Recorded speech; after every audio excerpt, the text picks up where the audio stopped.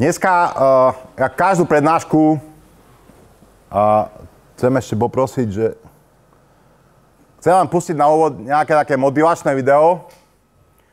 A uh, to motivačné video bude o tom, že aby ste sa nad tým zamysleli, lebo dneska sme mali, máme návštevu jedného doktoranta z Talianska a on o tom nevedel ani meké F.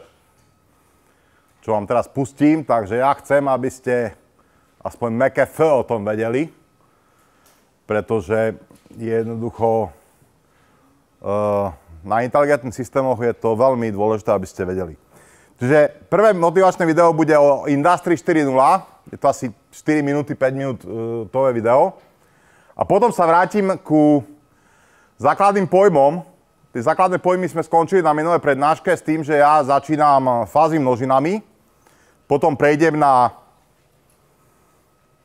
neurónové siete, základné pojmy. A to potom prejdem na tú prednášku, ktorú vlastne dneska, a to o znalostných systémoch, respektíve o expertných systémoch ako takých. Znova pri tej novej prednáške, ja vám to poviem, pri tej novej prednáške budú otázky, takže ide o to, aby medzi vami a, na, a mnou bola férová dohoda, aby ste už teraz vedeli tie otázky, ktoré, ktoré budú pristupujeme ku takej novej forme, že, že proste budete mať jeden slajd, kde bude YouTube linka, uh, ktorá sa bude volať Samoštúdium.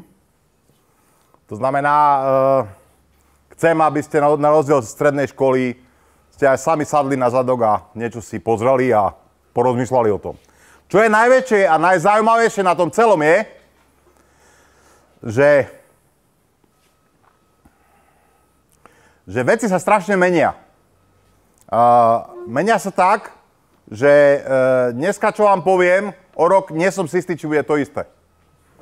To znamená, napríklad dneska budeme sa baviť o znalostných systémoch, v, tom je ta, v tých pojmoch je taký chaos, že ak očakávate v umelej inteligencii, že niekto vám povie, že to je tak, tak to tak nie je. Proste je tam sloboda a každý si nazýva tie systémy nejakým spôsobom. Mnohokrát pijete na to, že nové, vznikajú nové odnože týchto všelijakých pojmov a k tomu sa dostaneme, že, že o čom vlastne hovorím. Takže dneska to prvé motivačné video je o tomto, o Industry 4.0. Veľmi vás pekne prosím, skúste sa nad tým zamyslieť. Je to vlastne o Factory of Future, čiže... Peťo, dobre, funguje to.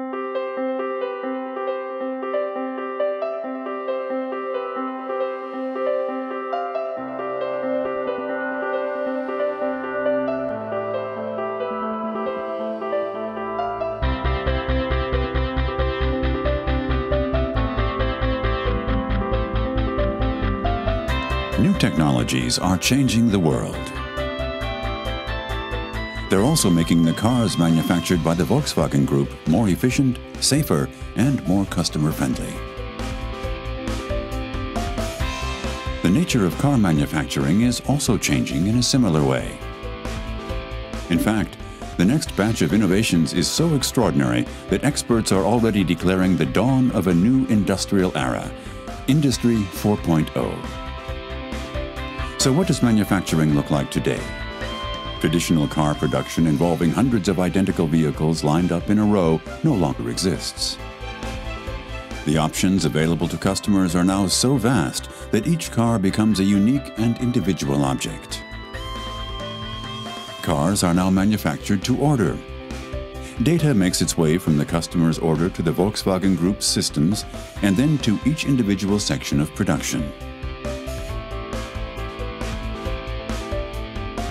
A car consists of many thousands of individual parts.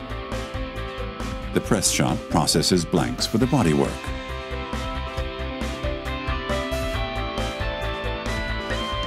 In the body shop, the car is baptized. In other words, it's given an RFID tag that can track it via radio frequency.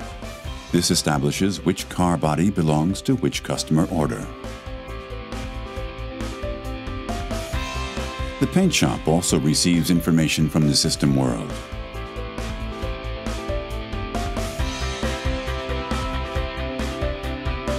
In In sequencing storage, the cars are placed in an optimal order for assembly. From here, information is transmitted to suppliers and pre-assembly as to which part is required when and where. In final assembly, the finished car emerges.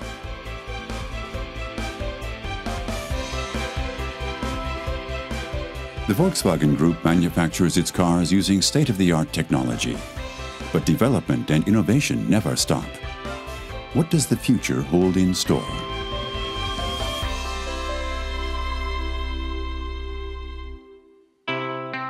Today, everybody is talking about Industry 4.0. It is a term used to describe a variety of innovative production processes. But what exactly does it mean? The Volkswagen Group has been shaping the future with groundbreaking projects for many years.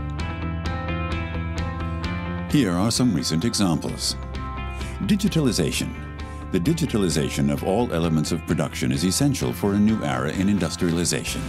Everything is given a virtual likeness in the system world. The result is an Internet of Things. Example 3D printing. Pressing tools are no longer shaped in a laborious manner. Instead, these tools can be made from steel granulate in a 3D printer. It's a technology that opens the door on completely new possibilities for design, with a level of precision unknown until today. Example Human robot cooperation. In the past, protective grids separated robot arms and employees. In the future, employees and robots will work increasingly hand in hand. This is made possible by new security sensors. Robots take on especially monotonous and arduous activities. Today, robots already play a part in contributing to ergonomic workplaces at the Volkswagen factories in Chemnitz and Salzgitter. Example Big Data Monitor in Logistics. The Big Data Monitor enables for the rapid visual processing of data from the 1,200 suppliers of the Audi factory in Neckars-Ulm. Where are the potential bottlenecks? Where is the greatest need for action? This data is now easily accessible at all times.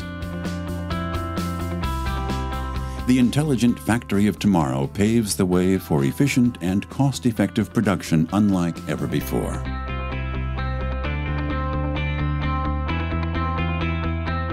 Industry 4.0 also means brand new opportunities for employees.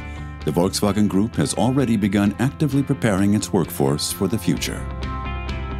The world is changing, not only in the automotive industry. Everything is in motion, and the Volkswagen Group provides the technology that moves the world.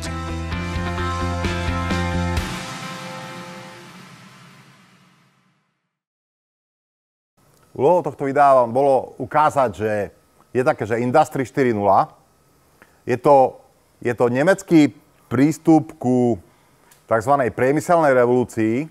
Ak ste zbadali, tak bolo tam plno prvkov umelej inteligencie. E, bolo tam to, čo som ja vám prednášal na jednej z prvých prednášok, kde sa hovorilo o virtualizácii.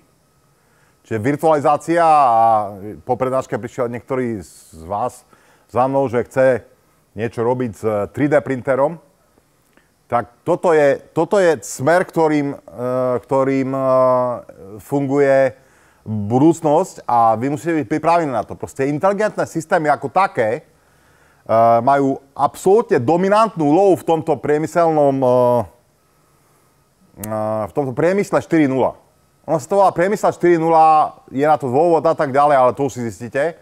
Dôležité je to, aby ste chápali, že to, čo sa tam povedalo, že, že život je v pohybe. A ak e, vy ako ľudia z inteligentných systémov to nepochopíte, tak nemôžete to očakávať od strojárov, od filozofov a tak ďalej. Proste život je fakt v pohybe, veci sa neskutočne menia vplyvom rôznych technológií. Takže toľko je ako dnešná, nech sa páči. Industry 3.0 a 4.0 v podstate Industry 3.0 nebolo takto jasne deklarované. Industry 4.0 uh, je hlavne o tom, že uh, Factory of Future uh, tam hlavnú úlohu zohrávajú znalosti. To znamená, povedzte mi, prečo by som ja nemusel alebo nemohol znalosti, ktoré potre- používam pri jednom produkte, využiť pri druhom produkte. Samozrejme, za všetkým sú prachy. Hej, to znamená, akým spôsobom formalizovať tie znalosti, akým spôsobom formalizovať servisy, akým spôsobom formalizovať uh, cloudové služby. My na dnešných cvičeniach, teda nie dnešných, ale toho týždňových cvičeniach, budete brať niečo o cloudoch. Ja preto chcem, aby vy ste niečo vedeli o cloudoch, pretože je to nevyhnutný prostriedok. A nie je to iba o tom, že, že na cloude je virtuálny stroj a vy robíte ten virtuálny stroj za pár minút a potom tam shiftnete niekde nejakú službu. Je to inak. Je to proste tak, že tam vznikajú rôzne servisy, ktoré sú škálovateľné. Ale to vám povie všetko kolega. Škálovateľné, to znamená o 12. obsluhujú dvoch zákazníkov, o 12.01 2 milióny. A urobiť takýto, takúto službu, taký servis nie je také jednoduché. Čiže ten hlavný rozdiel medzi 3.0 a 2.0 a 4.0 je hlavne v tom, že sú veľké dáta, že je dominantný vplyv umelej inteligencie, že je dominantný vplyv virtualizácie. Že ja najprv si všetko virtuálne vyskúšam a to virtuálne vyskúšanie môže trvať aj, aj sekundy. Môže trvať aj milisekundy. A potom urobím to. Čiže samozrejme ide aj o to, že aké finančné prostriedky sú za to, koľko už porím, koľko a tak ďalej a tak ďalej. Tam, ste, tam bolo spomínané personalizované auta. Dneska tie lepšie autá vám pošlu rodný list, že práve sa začalo vaše auto vyrábať. Čo keď to bude za dva dní? A, a proste tie autá štvrtok nebudú a v pondelok už budú. Neviem, či vám rozumiete teraz, čo som teraz povedal, že proste pojete do obchodu a poviete, sem také auto. Bude dobre, dám do výroby. A o dva dní príde. Čiže toto teraz nie je. Teraz všetko sa hromadí v skladoch a sklady sú ďalšie náklady a tak ďalej a tak ďalej. Čiže ten hlavný vplyv, aby som sa snažil jasne odpovedať, hlavný, hlavný význam 4 nulky voči predošlým generáciám je vysoký vplyv uh, vypočtovej techniky cloudov, veľkých dát a, a umelej inteligencie. Skúste, skúste o tom rozmýšľať. Ja teraz neviem na tom, uh, k tomu povedať. Vrátime sa ku, ku tomu, čo sme mali predtým. Predtým sme mali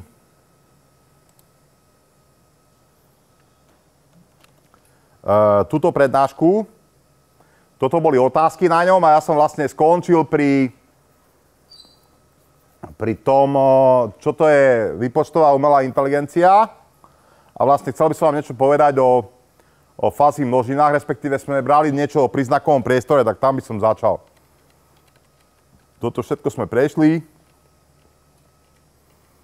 Tu som vám dal nejaké, nejaké linky, aby ste si to pozreli.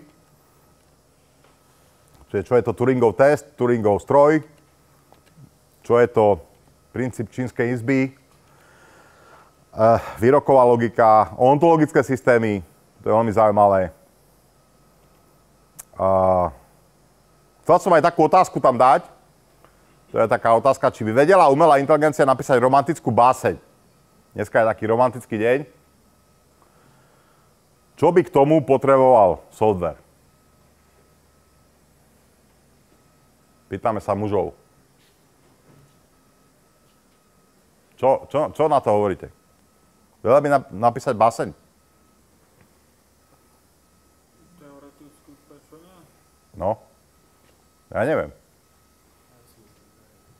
Tak zase, čo, mm, čo potrebuje báseň, aby sa stala romantickou?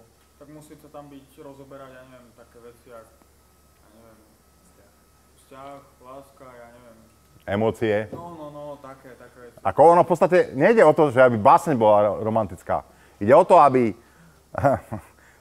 aby keď ju prečítam, aby ja som mal romantický pocit. No, a to robot vie, on nemusí pociťovať city, aby vedel vyvolať city. u nás. Tak, presne tak. Čiže v podstate uh, napríklad v umelej inteligencii existuje taká oblasť, ktorá sa volá, že laughing. Že vlastne ako, ako zabávať ako vytvoriť nejaký software, ktorý bude zabávať. Ako keď si spomeniete, že, že aké, položíte otázku, na čo?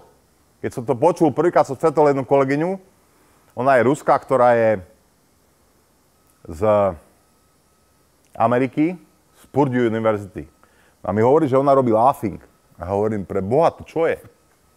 A že na čo to je? It's a multi-dollar industry.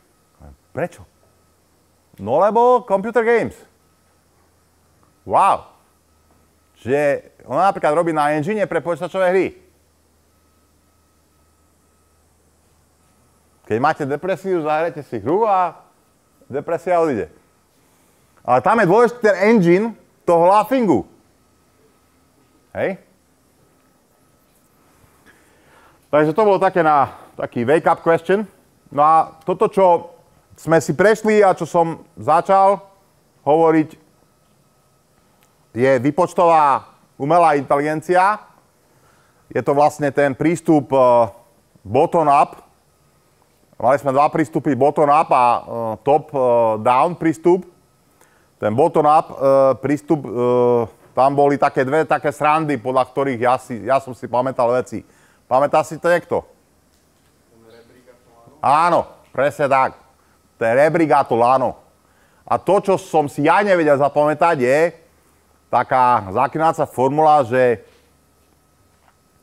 uh, že uh, konceptuálna, tak, taký blbý názov, konceptuálna priepas kognitívnych procesov. To strašne znie. Hej?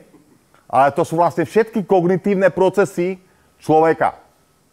Čiže nízky kognitívny proces je, je, je, sú až chemické procesy, ktoré sú v človeku a Vyšší kognitívny proces je láska k plastíku, neviem čomu a tak ďalej. Hej? Čiže toto sú vyššie, to je uvažovanie, to sú vyššie kognitívne procesy. A vlastne umelá inteligencia má ambíciu namodelovať všetky kognitívne procesy. A teď sme hovorili, že ten bottom-up prístup o čom hovorí? Že čo je človek?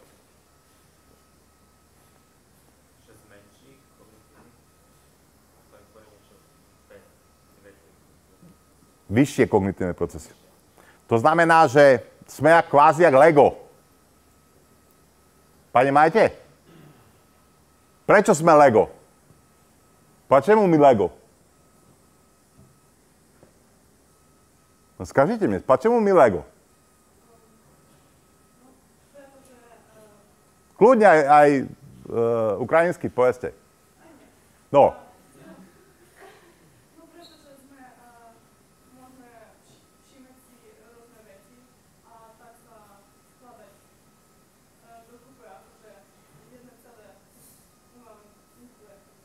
Ale, po, ale základná vec je, že z nižších jednoduchých procesov viem poskladať o mnoho zložitejší proces. Toto je, toto je, toto je to zá, základné, preto sa to volá bottom-up. Čiže bottom-up uh, prístupy sú tie, ktoré hovoria, že vlastne, uh, že vlastne my to vieme poskladať, to celé. Hej? Dobre, bavili sme sa o príznakovom priestore, bavili sme sa o príznakoch. Hej? Toto je strašne dôležitý moment teraz, že čo to je príznakový priestor.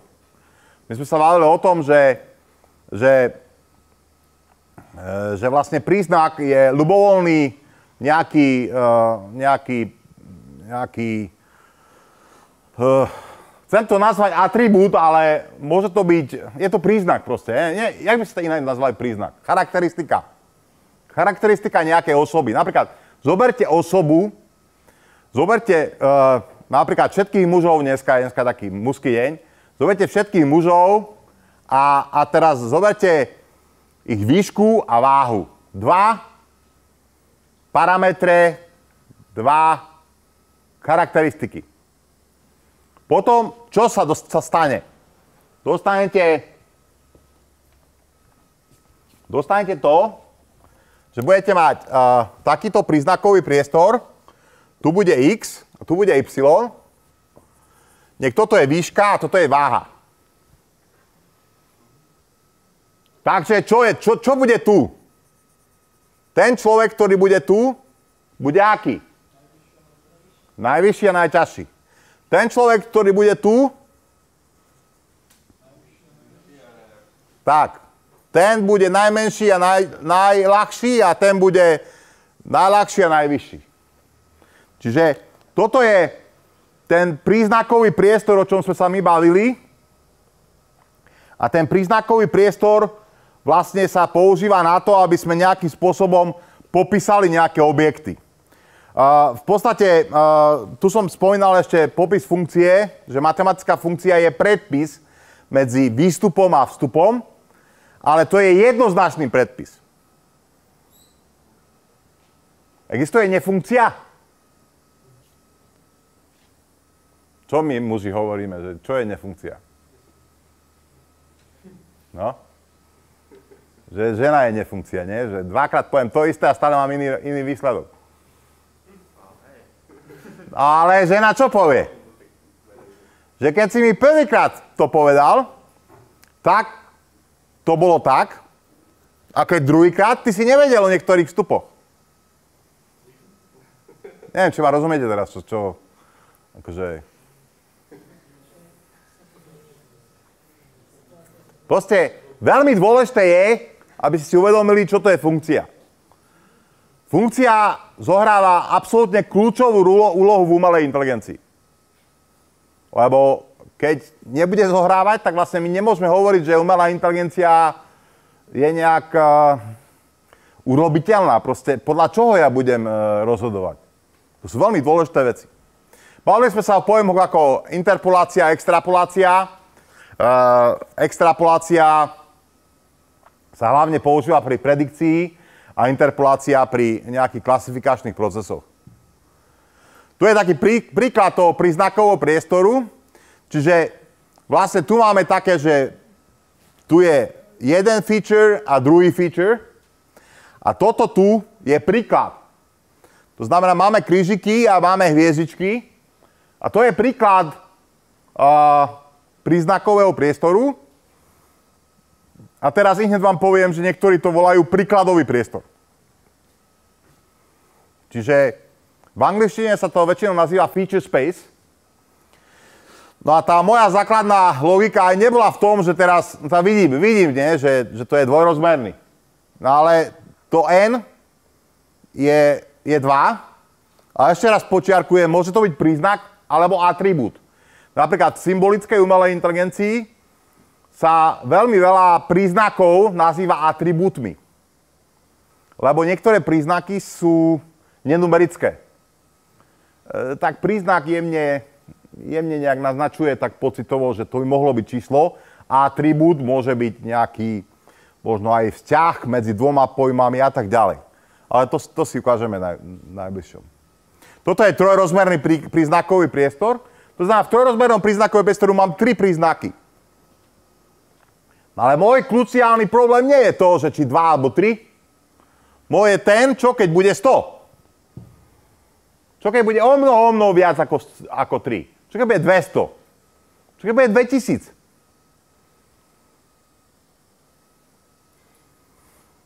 Máme na to výpočtovej kapacity?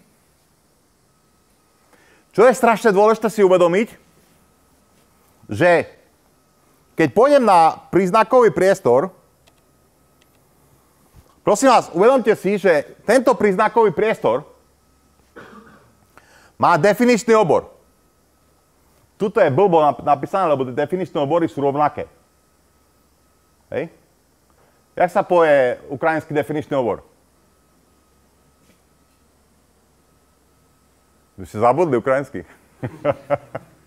Ale viete, čo to je definičný obor?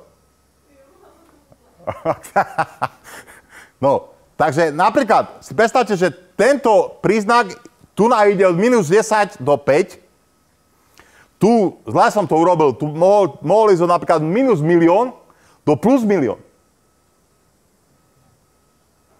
Čiže obrovské množstvo kombinácií, obrovské množstvo príkladov tam môže byť. V dvojrozmernom priestore. Čo bude v trojrozmernom priestore? To bude ešte viac. A čo bude v storozmernom priestore? Bude ešte, ešte viac.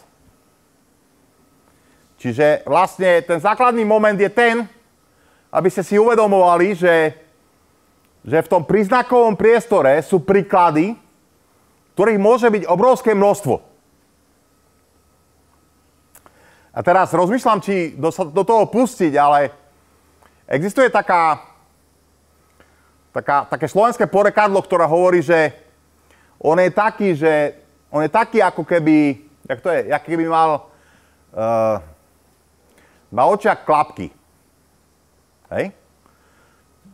Keby som mal na očiach klapky, to znamená, že ja nevidím celý príznakový priestor. To znamená, si predstavte, že z toho priestoru by som si myslel, že môže byť iba 0,15 až 0,15 až 0,1, alebo tuto nakreslím, že, že bude mať minus 5 až tu, iba toto tu, a tu bude mať okolo nuly. Čiže bude mať nejaký tento priestor. Ja ako človek si budem myslieť, že, že iba tu, tu existujú takéto javy, ktoré sú popísané príznakom 1 a 2. A teraz stroj mi povie, že nie, nie iba tu, ale aj ďalej existujú. Čiže ja klapky, keby som odstránil,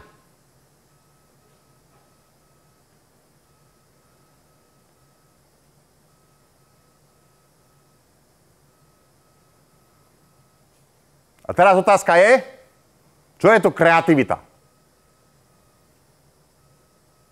Prečo vy ste, mladí ľudia väčšinou sú viac kreatívni? Nie sú zaťažení. Čo to je kreativita? Ako by ste urobili umelú kreativitu? Artificial creativity. Jak by ste urobili? Ja budem o mnoho viac kreatívny ako vy, keď budem vedieť predstaviť úplne inú vec ako vy. Ale pragmaticky to znamená, že ja v príznakovom priestore buď budem o mnoho väčšom ako vy, a moje definičné obory na jednotlivých a, príznakoch budú o mnoho väčšie ako vaše.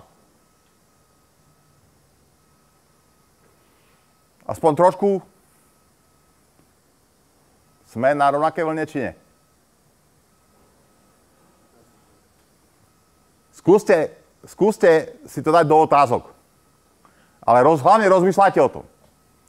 Ja zámerne vám ani nechcem hovoriť všetko.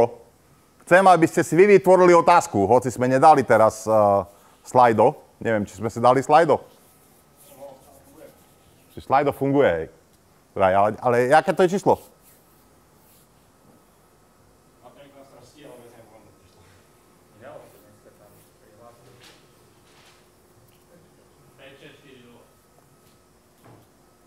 No, však môžeme to aj sami potom spraviť, ale ešte raz. Uh, neviem, či došiel ku vám ten message, ktorý som chcel vám dať, že umelá kreativita má veľa spoločné s príznakovým priestorom. To som chcel povedať. To znamená, myslím si, že nekreatívni ľudia majú menší príznakový priestor ako kreatívni ľudia.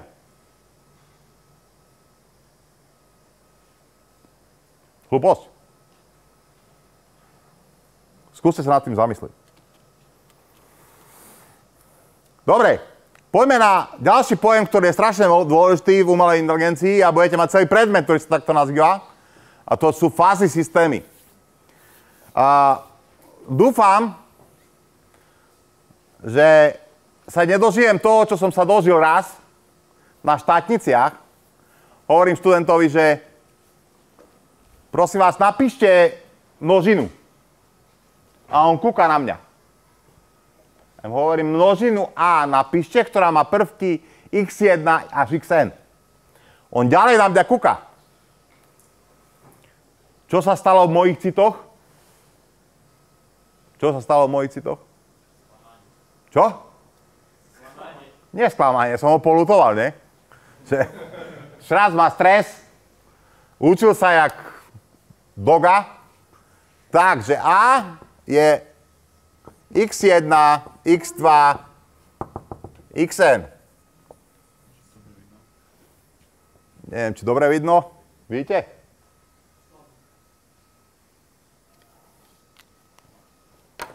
obyčajný zápis množiny.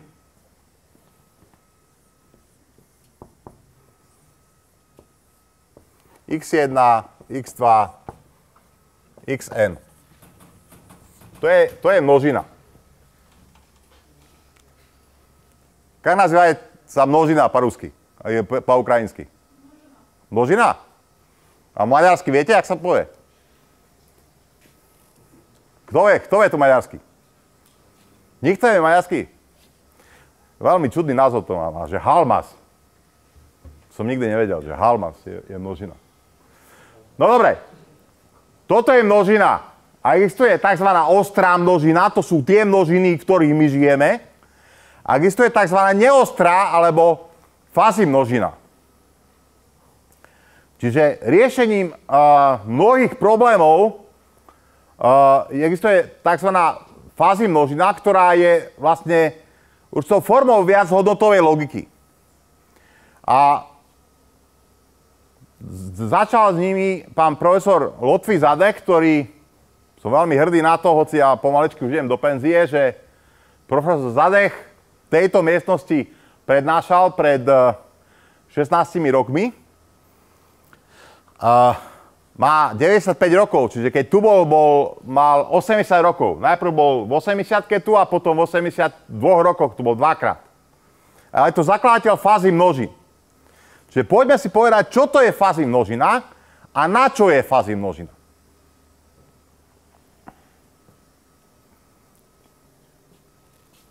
Rozmýšľam teraz, čo povedať, aby som naviazal, jak Saifa hovorí, aby som... Uh, uh, dneska je krásny deň vonku. Hej? Dobre, takže máme Zapamätajte si vetu, že dneska je krásny deň vonku. A máme klasickú množinu a chcem povedať to, že jak som ho, čo som ho polutoval, či čo, čo som ho polutoval na tej štátnici, tak som mu to tam napísal. Že ako sa zapíše množina, on, on tak kukol na to, ja keby prvýkrát videl zápis množiny, tak nie som sa opýtal, či nie je z obchodnej akadémie, ale nebol z obchodnej akadémie, bol z nejakého bližšie nemenovaného gymnázia, ale asi mal veľa aktivít počas vysokej školy, takže asi zabudol, ako sa e, množina zapíše. Ale pointa je tá, že toto je klasická množina, nechcem o tom viac rozprávať, lebo není o čom. Toto je klasická množina, ktorou sa uh, stále stretávame. A vieme, že množina A má prvky A1, A2, A3 až AN. Bodka. Kanec. Все jasno. Keby som chcel zapísať fázy množinu, tak by som ju mohol napríklad, napríklad zapísať tak, že je to množina nejakých prvkov. Napríklad tú množinu nazývame, nazveme mladý a je to množina, ktorá je to množina ľudí, ktorí majú menej ako 20 rokov. A teraz vlastne ja poviem, že ten, kto má menej ako 20 rokov, tak bude patriť do množiny mladý a ten, kto bude mať viac ako 20 rokov, čiže Peťo už není mladý. On už je starý. Čiže základný problém je, ako to urobiť, aby ja som to nejak mohol merať. A teraz sa zaviedol taký pojem ako funkcia my, a to prosím vás si uvedomte, že toto je funkcia, ktorá sa nazýva funkcia príslušnosti. A teraz, toto si zapamätajte, že to je funkcia príslušnosti čoho ku čomu. To je funkcia príslušnosti toho x ku množine mladý. Čiže keď ja vám poviem, že funkcia príslušnosti, by ste ma mali nakopať a no to hovor ďalej. Lebo Funkcia príslušnosti musí byť funkcia príslušnosti čoho ku čomu. Kapito? Čo som sa povedať? Že nemôžem povedať iba funkcia príslušnosti, ale musím povedať funkcia príslušnosti čoho ku čomu. Čiže v danom prípade je to funkcia príslušnosti x ku množine mladý. A funkcia príslušnosti má takýto tvar, kde ja mám x-ovú os, kde je vek. A vek nazývam tzv. univerzum. A tá y os, to je vlastne my. A vo väčšine prípadov to my, maximálne my, nech som sa toho dotknúť, toto to my je jedna. Čiže tá kocka je jedna. Z toho vyplýva, že to my pre všetky prvky tej množiny mladý menšie ako 21 a pre všetky množiny, prvky množiny väčšie ako 20 je 0.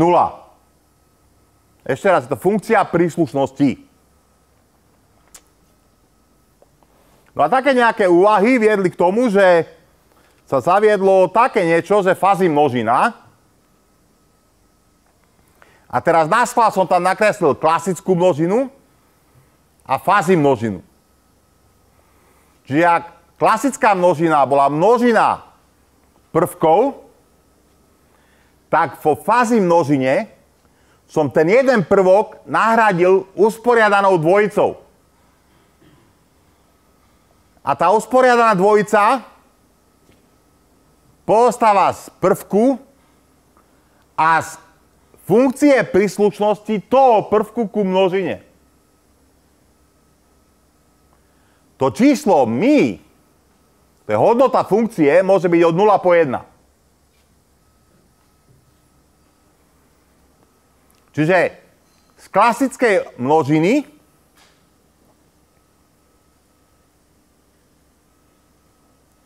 dostanem fázy množinu tak, že ku každému prvku priradím hodnotu funkcie príslušnosti prvku ku množine. A dúfam, že to nie je zložité, lebo proste nie je to absolútne elementárne. Otázka. Neviem, vidno? Jak by ste prepísali tú prvú množinu do fázy formy?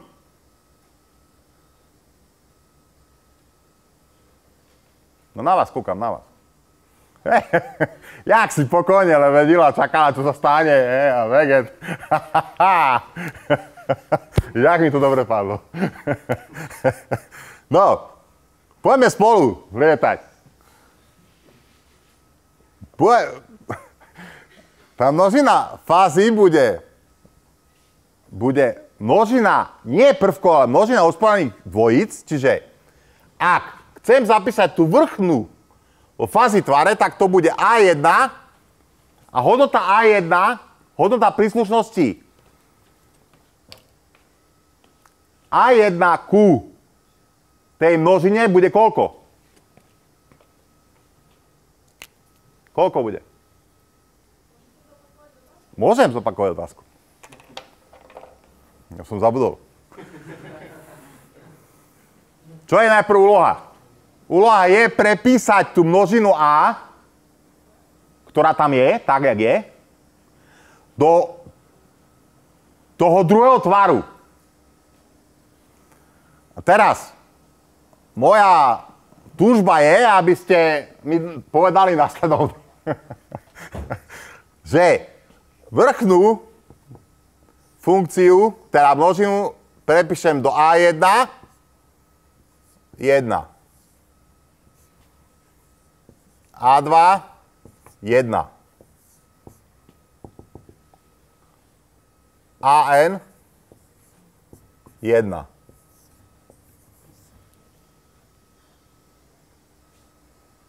A táto jednotka je mi A2 ku AF.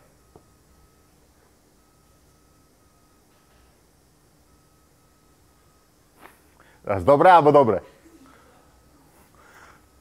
To znamená, čo by sa stalo, keby tu bola nula?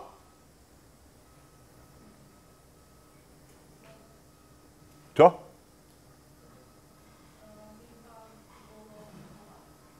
Nie. Ak toto by bola nula, tak znova túžim po vašej odpovedi tak, že A2 nepatrí do množiny. Keď, funkcia príslušnosti má nulovú hodnotu, tak vlastne ten prvok nepatrí do množiny. Keď má hodnotu 1, tak patrí do množiny. A teraz ide ten najhlavnejší okamih. Vygenerujte otázku. Že keď je to 1 a keď je to 0, tak áno. Čo bude, keď je tam 0,5? No proste funkcia príslušnosti bude tohto prvku A2 ku danej množine bude 0,5.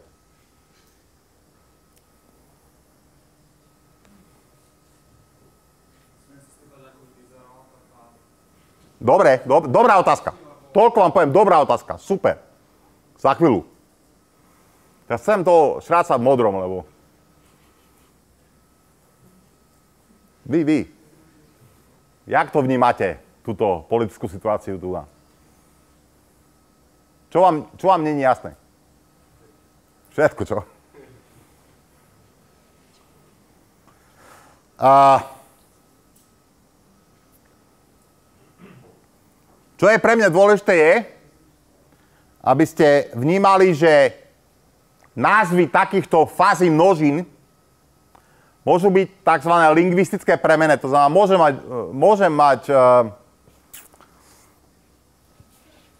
fázy množinu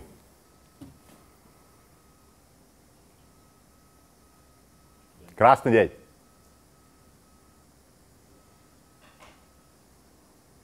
ktorý by mohol byť 24 čísel a, a každé to číslo by mala nejakú teplotu. Teraz napríklad, keď o 12. bude hodnota 30 stupňov, s funkciou príslušnosti tých 30 stupňov bude veľmi vysoká k tomu krásnemu dňu, tak a teraz prídeme k tomu, že ako môžu vyzerať funkcie príslušnosti. Čo chcem povedať je, že, že tie príznaky majú svoje univerzum. To znamená, majú svoj definičný obor. Už ste prišli na to, ak sa povie definičný obor po, po ukrajinsky. A to máte za domácu lovu. Spýtať, že... Zadáča.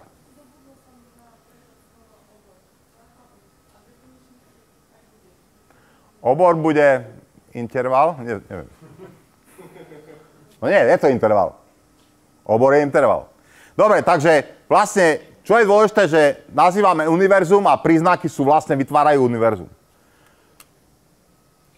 Uh, toto je taký príklad toho, kedy je to iné, kedy možno aj Peťo bude tu na, do toho zapadať, že možno je mladý s funkciou príslušnosti, neviem, 0,8 či 0,7? 9. no. Jedno je isté, že ja tam nepatrím. Hej? Či, čiže, či, nie, to už je nula, tá, čo ste?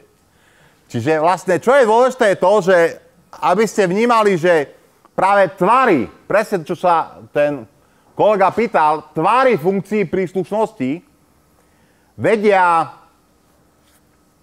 urobiť rôzne situácie. To znamená, toto môže byť pravda na Slovensku, ale nemusí byť v Japonsku. Hej? Čiže keby sme spravili uh, takú množinu, že dlho, dlhovekí ľudia, tak určite, kde to na Okinave, či kde to žijú tak dlho ľudia, alebo u nás na Slovensku, hlavne po voľbách, to je proste inak. Hej? Ale, ale na úrovni tých pojmov dlhovekosť, ak ja začnem narábať s pojmom dlhovekosť, tak budem s ním narábať. Ale definícia tej dlhovekosti vo forme tváru funkcie príslušnosti môže byť iná v Japonsku a iná u nás. Čiže v Japonsku tá množina bude nejaká a tak ďalej. Takže vlastne, keď si porovnáte toto tu s týmto, tak vidíte, že tuto je vlastne 0,1 Čiže tá, ten definičný obor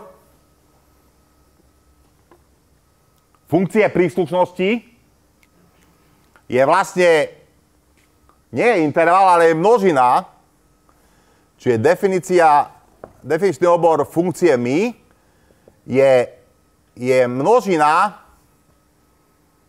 0, 1. A v prípade normálnych množín je to interval uzavretý 0, 1. To je definičný obor funkcie príslušnosti. Čiže teraz, čo chcem povedať? Že klasické množiny, ktoré ináč sa volajú bulové množiny, lebo isto je bulová algebra a bulové hodnoty, sú špeciálnym prípadom, kedy vlastne funkcia príslušnosti má hodnoty buď 0 alebo 1 a tie fázy množiny majú hodnoty z intervalu 0, 1.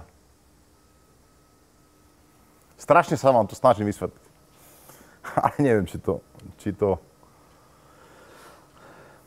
No a toto je prípad, keď e, vlastne, ja neviem presne povedať, čo to je mladý, nie je tam presná hranica, preto mám nejakú prechodovku od neviem koľko, od nejakých 20 alebo 18 rokov po 30, keď je človek, alebo 32, keď je človek mladý a potom už tam nepatrí. Proste nepatrí, čo znamená? Čo znamená nepatrí? Nie, to je dobré, ale ako má funkciu príslušnosti? Nula. To znamená, toto, toto celé, čo tu vidíte, nechcem sa to dotknúť, není toto, ale je toto, toto a toto. Hej? Aha.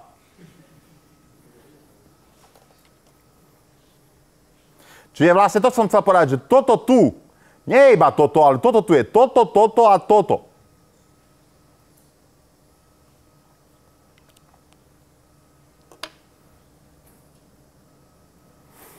Čiže môže byť vygenerovaná otázka, vygenerovaná otázka, vygenerovaná otázka, aký je rozdiel medzi klasickou funkciou bulovskou a fázy e, funkciou, teda fázy množinou, klasickou množinou a fázy množinou, je rozdiel ten, že pri klasickej množine sa nedefinujú funkcie príslušnosti prvku ku množine, kým pri fázi množine sa definujú tieto. No a teraz, na čo je mi toto celé?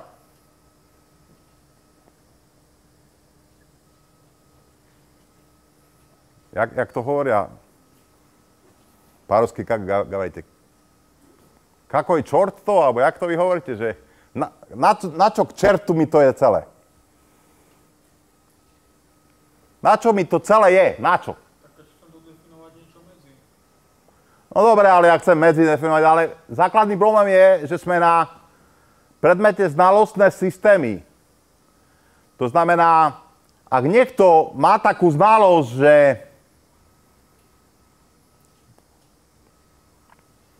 Ak vonku je pekne a nebude pršať, ak vonku je pekne, tak potom nebude pršať. To je pravidlo. Dobre? Vedeli by sme to pravidlo dať do počítača? A toto, že ak je vonku pekne a potom nebude pršať, to môže byť nejaká skúsenosť. A môže to byť niečo s expertnou znalosťou. A viete, akože ja som starý človek a viem vám teraz, nechcem povedať, že som taký veľký frajer, ale zhruba tuším, že ktorí z vás tušia, čo rozprávam a ktorí z vás netušia, čo rozprávam. Ale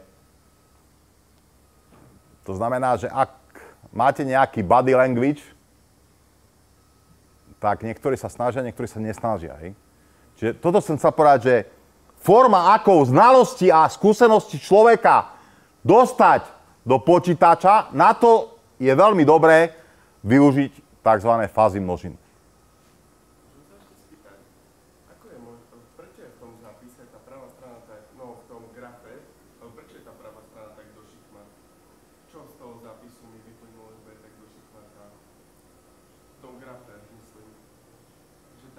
Najprv mi povedzte, prečo ľavá strana je rovna. Lebo 0 po 1 je množina. Buď 0 alebo 1. No nie, ale som sa narodil, nie? Čo je xová os? To je vek. Čiže ja nemôžem ísť do, do, do negatívnej x-ovej osy, hej? hej? Tak mohol by som, minus 9 mesiacov, ale akože teoreticky, uh, no a teraz, veľmi dobrá otázka. Máte odpoveď? No dobre, ale e, tu, kto má odpoveď na jeho otázku? Nie, nie, nie, nie, nie dobre. To, čo je rovné, tak tam je hodnota, pres, že má presne 20 rokov a potom a keď už začína klesať, tak tam je, dajme tomu, od 20 do 30 a bude to funkčná hodnota. Dobre, a teraz, uh, uh, uh, čo chcem povedať je, že kľúč je v tom, dajme tomu. A čo je to dajme tomu? Čo? Nie, dajme tomu znamená, ja som rozhodol. Ja ako človek som rozhodol, že to bude také šikme. Ale kľudne som mohol rozhodnúť, že to pôjde do 70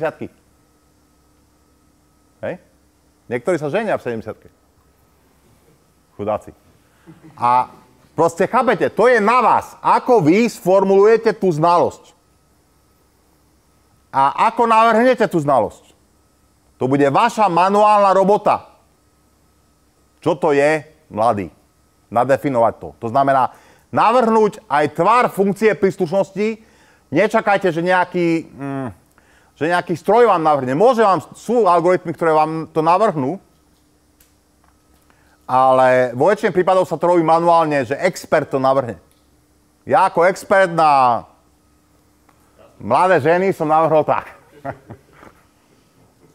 Dúfam, že to nebudete brať ako pedofiliu. No?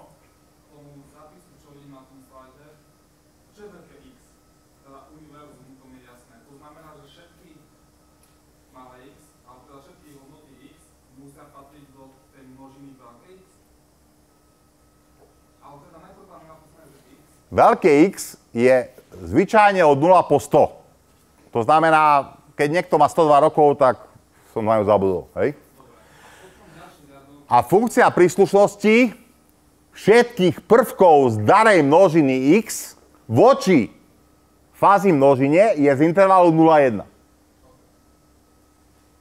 Hej? Dobre alebo nie? Nie, ja som chcel povedať, že všetky prvky z, medzi 0 a 100 majú funkciu príslušnosti prvku voči množine. Dobre, poďme na tvary. Tvary môžu byť rôzne. Rôzne teda, jak sme povedali. A ešte raz sa pýtajte, lebo ja som sa presne o to pýtal, kto to navrhne? Ja. Ja ako človek som sa rozhodol, že mladý bude buď tak, alebo aj tak. Potom, uh, toto je na porovnanie, že vlastne uh, ten prvý prístup je, je vlastne tá funkcia príslušnosti je, je, je dvojhodnotová a tu na funkcia príslušnosti je, je intervalová. To znamená, poďme ďalej, aké môžu, byť takéto tvary funkcií príslušnosti. Môžu byť rôzne. A to vytvára poéziu toho celého. Aký, aký, aký tvar použiť na, na určité veci. Čiže môže byť napríklad trapeziódny, gaussovský, môže byť trojuholníkový a môže byť dokonca aj tzv. singleton. Singleton znamená, že v bode A je 1 alebo menšie ako 1 v bode B, všade ostatné 0. Tomu sa nadáva, že to je singleton.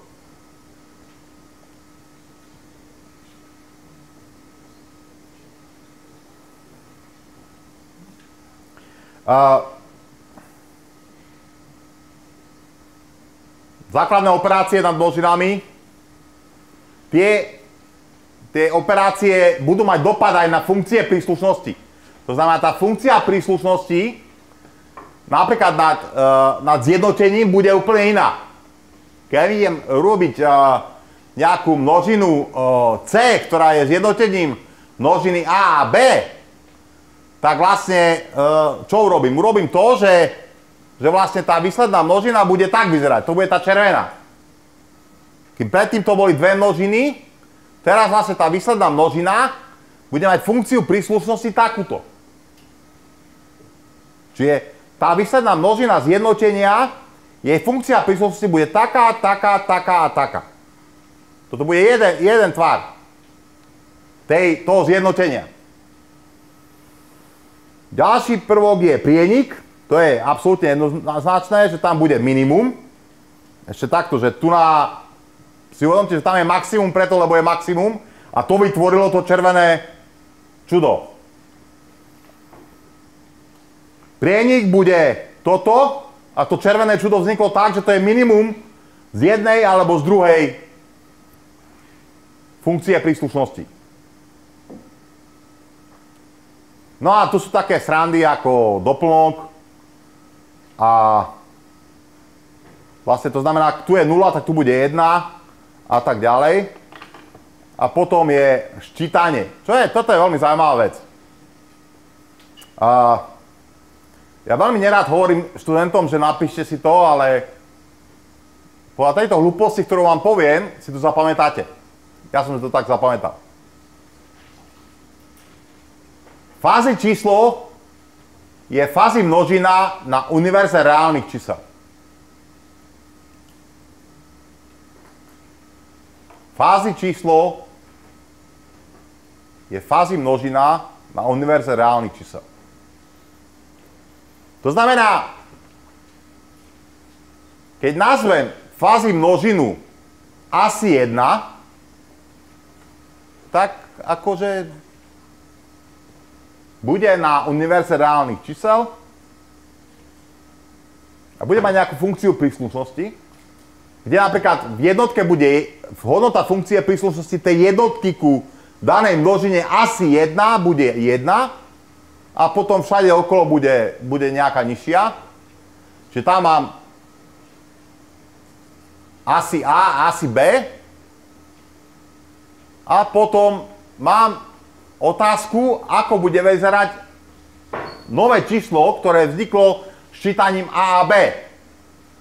No bude to asi A plus B a bude mať inú funkciu príslušnosti.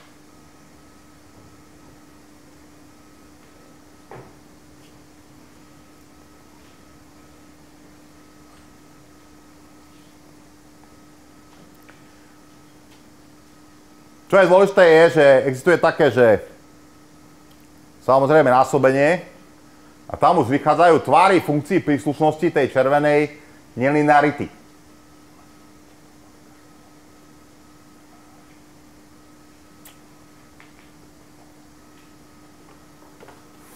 Čiže fázy čísla sú vlastne fázy množiny, kde to univerzum je, je, sú reálne čísla. A teraz po tom všetkom, po tom chaose, ktorý máte v hlavách, vedeli by ste navrhnúť systém, ktorý by hodnotil fyzickú a mentálnu krásu ľudí? Čo je mentálna krása?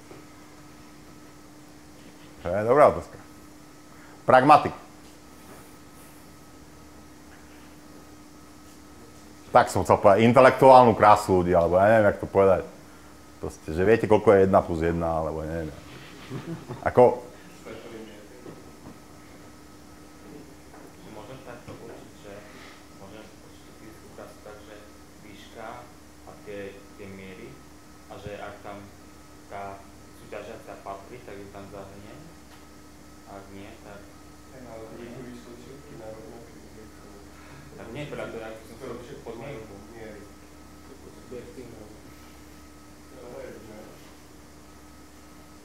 Что он говорит?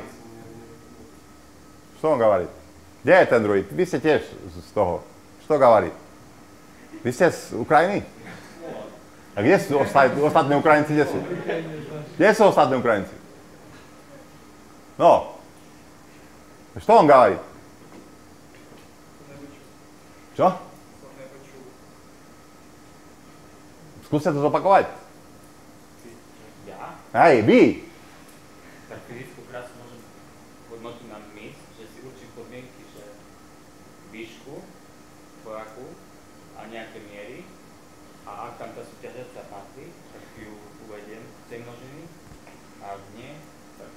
Čo je to výška? Príznak, bingo. Farba očí, príznak, bingo.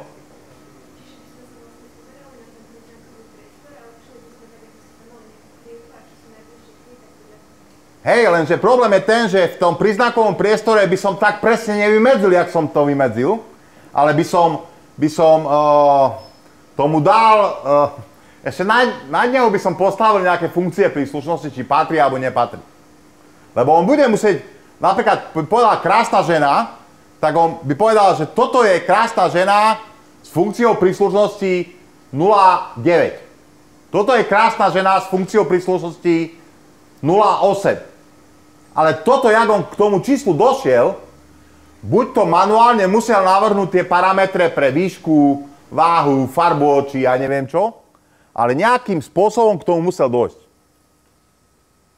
Čiže čo som chcel povedať je, že je to o určitých expertných znalostiach, alebo my budeme brať dneska aj, aj heuristiku. Uh, heuristika napríklad hovorí o tom, že to je, to je modelovanie intuície, ale toto nie je intuícia, toto je to, čo si myslím. To je moja, uh, môj názor. Hej? Čiže, uh, čiže čo som chcel povedať, že fázy množiny sú veľmi dôležité na to, aby v procese, keď uh, vy ste expert a vy máte 90 rokov a za chvíľku odidete, hoci niektorí sa nechystajú v 90 odísť, a pot, vy ste tak cenný človek, že potrebujem od vás zobrať tie znalosti a dať do počítača, tak na to je veľmi dobré použiť fázy množiny. My budeme mať špeciálnu prednášku o fázy systémoch. Tam by vám to malo všetko sadnúť a mali by ste pochopiť, čo to je fázy inferencia napríklad. Ale z toho všetkého najdôležitejšie, čo, čo, čo sme tu rozprávali, je toto, čo ten Šrác tam hovoril, že, jak sme povedali, dajme tomu, či čo? Dajme tomu. Vy rozhodnete, ak to bude. Jaký tvar bude mať, vy rozhodnete ako expert. To je strašne dôležité, pretože ja som sa to učil, tak ja som si myslel, že ten tvar niekto vypočíta. Nie. Vy ako človek to manuálne navrhnete. Môžem sa niečo spýtať? Že myslíte si, že by niekedy nejaký veľmi inteligentný človek mohol spraviť takýto, takú, tú, tú expertnú činnosť, navrhol by takú fázi množinu a tam by zahrnul svoje rozhodovanie alebo myslenie a potom by to nejakým ďal, ďalším generáciám odo, odo, odovzdať, on by zom- zomrel teraz a mo- mohlo by sa podľa jeho znalostí ďalej rozhodovať. Či by to bolo reálne? No, e, pochopili ste? Kto si myslí, že, e, že nie, nech zdvihne ruku. Jeden. Kto si myslí, že áno? Kto si myslí, že za možno, no?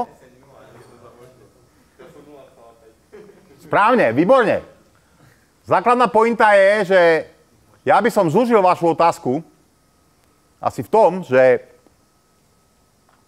môj otec bol projektant.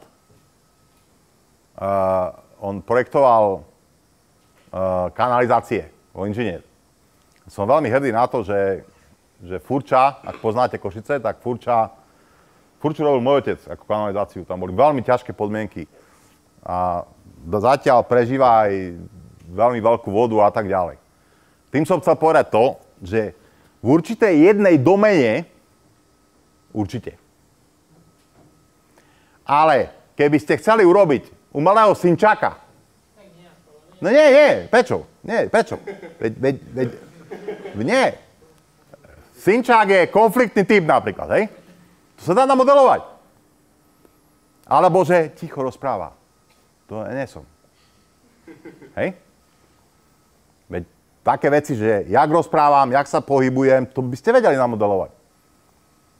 Jak rýchlo riešim veci, Poznám ľudí, ktorí riešia veci niekto, niekoľko týždňov. Ja by som zomrel, keby som mal riešiť veci niekoľko týždňov. Čiže, čiže to som chcel povedať, že niektoré veci sa dajú urobiť. Ale znova sa dá urobiť iba tak, že to zadefinujete manuálne. A teraz, čo chcem povedať, Peťo, je, že bolo také meno, že Marvin Minsky. Tých, ktorých to aspoň trošku zaujíma, tak si napíšte to meno. Marvin Minsky bol eh, človek z MIT, ktorý zomrel teraz, mal, neviem, 86 rokov, koľko. A on to, čo, to, čo vy robíte, presne robil. Mal jedného Poliaka, doktoranta, ktorý ostal pri ňom a presne vytváral vytváral Minského doslova. Rôznymi symbolickými metodami, to znamená, sa ho pýtal niečo, on odpovedal a čo sa dal do počítača a počítač mu dal nejakú odpoveď, tú istú, ktorú dal tomu Minskému. A tie ambície sú tu, ale, ale nie som si si, že to je také jednoduché.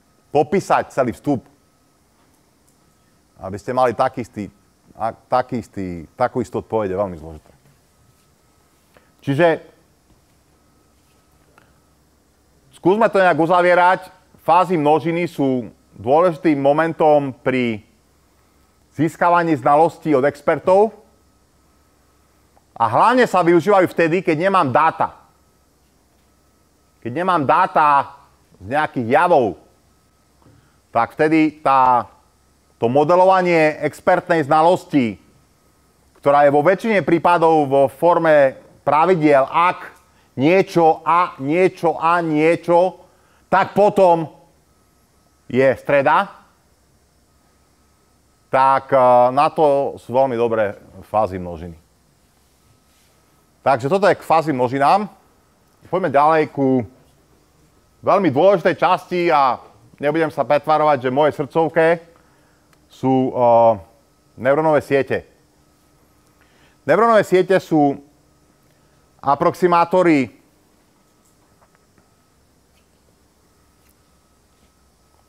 matematických funkcií. Tu potrebujete dáta. Bez dát ste tam, kde je teraz Fico. Parlament. Parlament. Proste potrebujem dáta na to, aby som vedel, vytvoriť funkciu. A teraz nadviažem na to, čo, čo povedal tu ten môj kolega. Vy ste hovorili, že vlastne vytváram nejakého virtuálneho človeka. Tak či nie tak? No, no povedzme, že, že, že, že urobím virtuálneho človeka. Minsky chcel, aby ten stroj mu aj vysvetlil, že čo sa tam odohralo, že prečo on, on, on tak rozhodol. A existujú systémy, medzi ktoré patria neurónové siete, ktoré nevysvetľujú, ktoré sú, sú tzv. black box. Sú čiernou krabicou, na vstupe niečo, na výstupe niečo. Jak hovoríme my muži, nevro, to je tá neurónová sieť. Hej? Ženu nikdy nepochopíš. Čiže ak mám data, tak môžem robiť v princípe to isté pomocou neurónovej siete. Hej? To znamená modelovať funkciu. Lebo aj, aj toho Minského nenamodelujete, ak, ak, ak nebude mať funkčné správanie. Nemáte šancu namodelovať, ak, ak nebude mať funkčné správanie. A Otázka, čo keď nebude mať funkčné správanie?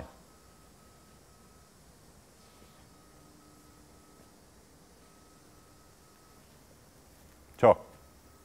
Na rovnaké vstupy by som mal dostať rovnaké výstupy. Ak dostanem na rovnaké vstupy rôzne výstupy, tak mám problém.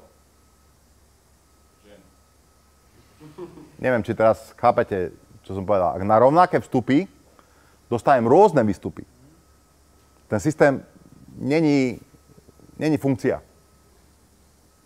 A s tým mám veľký problém, lebo neviem ho popísať. Teraz prečo vo vašich očiach vnímam určitý stupeň váhavosti? No, lebo ste nám hovorili o tom, No, poďte, poďte. čo môžeme považovať za šialenstvo alebo bláznostvo. No, Pokiaľ urobím tú istú chybu a očakávam rovnaký výsledok, e, rôzny výsledok. pokiaľ... A skúšam stále to isté a očakávam rôzny výsledok. Neveľmi chápem. No, to ste nám povedali asi na prvej prednáške. Že keď e, mám rovnaké vstupy, očakávam rovnaké výstupy. No, že to je definícia šialenstva, alebo proste nerozumu, tak. Nie, nie, nie, nie, pozor, pozor, aby tu nedochádzalo k nejakému, uh, čo ide po, po 12. hodine, tí vešci a takí všelijakí. Nie, nie. Matematicky funkcia je jednoznačné prirodenie vstupu k výstupu, alebo výstupu k vstupu. Keď ja mám situáciu, že na rovnaké vstupy do black boxu dostanem rôzne výstupy, to nie je funkcia. Dobre? A keď to nie je funkcia, nemám šancu to namodelovať. A to je pre mňa to, že umelá inteligencia to nevie urobiť. Ak ste to pochopili ako šialenstvo, tak nie som si istý, že taký pojem som akurát použil, ale možno byť ako... Ale ako to chcem povedať, že, že nefunkciu nenamodelujete. To som chcel povedať. Že nefunkciu nemáte šancu namodelovať. Čiže neurónové siete sa snažia o aproximáciu matematických funkcií z dát. To je rozdiel voči fázi množine, že tu sa báme o dátach.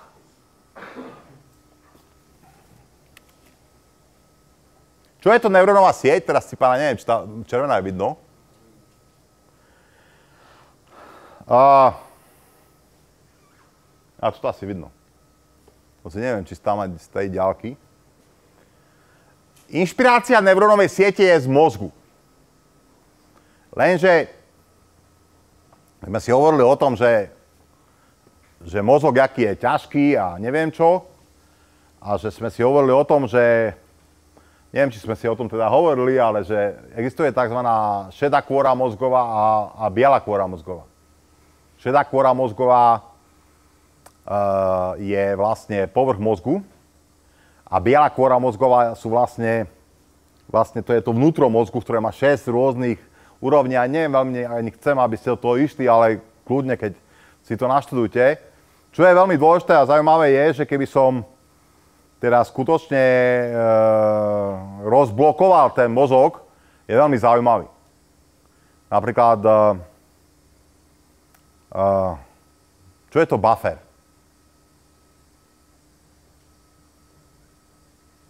Slečna, čo je to buffer?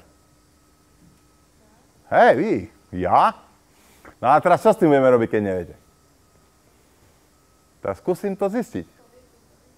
Povedz ja. Ste odovdaná osudu. Buffer, kto vie, kto vie čo, čo to je buffer? Uh, jaká? Jaká? To prvé písmeno je dobré, ale jaká? Vyrovnávacia pamäť. To znamená, mozog má tiež svoj, svoj buffer, v ktorom ja príjmem informáciu, hej? potom tá informácia postupom času sa mi uloží do trvalejšieho stavu. A keď napríklad, a keď pôjdete na, na YouTube, tak si pozrite také meno, že David Suzuki. To je strašne fasa šrác. David Suzuki je, mal takú sériu na National Geographic o mozgu. Také veci sa de- dejú vo svete, nie že vo svete, to ťažko povedať. Čo vám chcem povedať, že sú také napríklad choroby, že vy ten svoj buffer mozgu sa vám pokazí.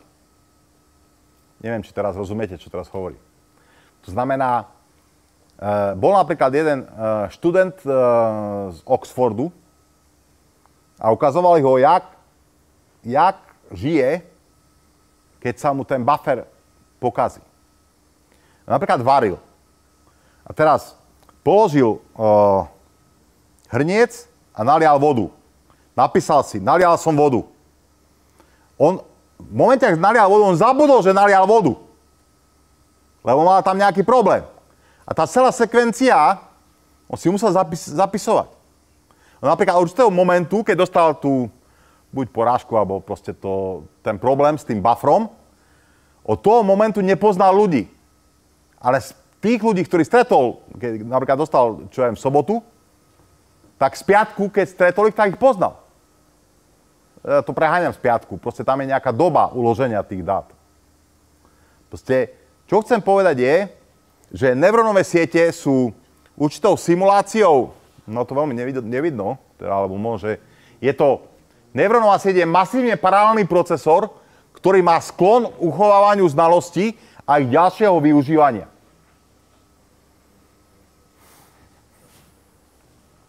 Napodobňuje ľudský mozog v dvoch oblastiach, a to je v medzineurónových prepojeniach, a tam je dôležitá topológia tej neurónovej siete, a potom a, poznatky sú zbierané počas učenia. My si za chvíľku ukážeme, jakú štruktúru, jakú topológiu má neurónová sieť. A e, vlastne niektorí nazývajú neurónovú sieť aj, aj distribuované výpočty alebo distribuované počítanie, že nepozerajú, nepozerajú na neurónové siete ako na prvok umelej inteligencie, ale na prvok výpočtový. Čo je dôležité povedať, že to je obrovská teória okolo neurónových sietí. Obrovská. To sa tam Matematici sa tam teda vyžádili poriadne. To každý, ako jedného študenta, ktorý začal u mňa doktorát a potom dostal eh, štipendium v Amerike. No a tu začal niektoré metódy. A ja som vedel, že tá teória okolo toho existuje. To bola jedna neurónová sieť. A on išiel priamo k tým tvorcom tej neurónovej sieti do, eh, do Bostonu a sa vrátil a hovorí mi, pojď sa, tu máš popis tej neurónky, ktorú som študoval. A ja som mu tú neurónku vysvetlil asi na 1,5 strany a on prišiel, pri, prišiel asi s 25 diferenciálnymi rovnicami. Proste existuje obrovská teória neurónových sietí a chcem, aby ste iba vedeli, že je tam veľmi vážny matematický background. Potom existuje simulácia neurónových sietí. Tu budete mať na predmete základy neurónových sietí, kde budete mať možnosť simulovať neurónové siete. Budete si môcť uh, vyskúšať, návrhnúť neurónovú sieť, uh, súkať do nej dáta a vytvoriť uh, vlastne aproximátor funkcie. A posledné existujú tzv. hardwareové implementácie neurónových sietí, ktoré sú v podstate jemne na ústupe a to hlavne kvôli tomu, že dneska tie počítače sú veľmi rýchle. Ten hardware bol veľmi dôležitý vtedy, keď sme chceli urobiť veľmi rýchly systém. A teraz každého z vás by mal napadnúť jeden film.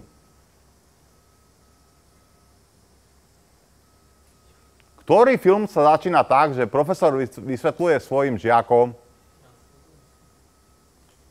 Jak? Tak to zase som nevidel.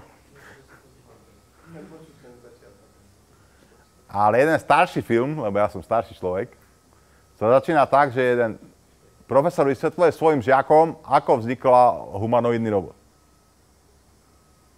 A hovorí o tom, že on transformoval celú neurónovú sieť do jedného single neurónu. A to je, to je vlastne film, ktorý sa volá Umelá inteligencia. Pozrite si to, je to veľmi zaujímavý film. Uh, samozrejme, tam sa otvárajú také vážne, uh, chcel som povedať, že iba pre mužov, ale uh, najnovšie aj pre ženy, či budú napríklad sex boti. No, smejete sa, ale viete, akože my sa môžeme smiať, ale niekto za tým vidí obrovské doláre. No, čiže implementácia je teraz na ústupe. Dôležité je, že máme veľmi rýchle stroje a veľmi silnú konektivitu. Čo je to neurónová sieť? Vlastne toto sú základné pojmy, ktoré potrebujem vedieť, že to je topológia neurónovej siete. Tá topológia postáva z neurónu, čo je ako keby procesor. A tento procesor, tých je viac tých procesorov, je pospájaný s tzv.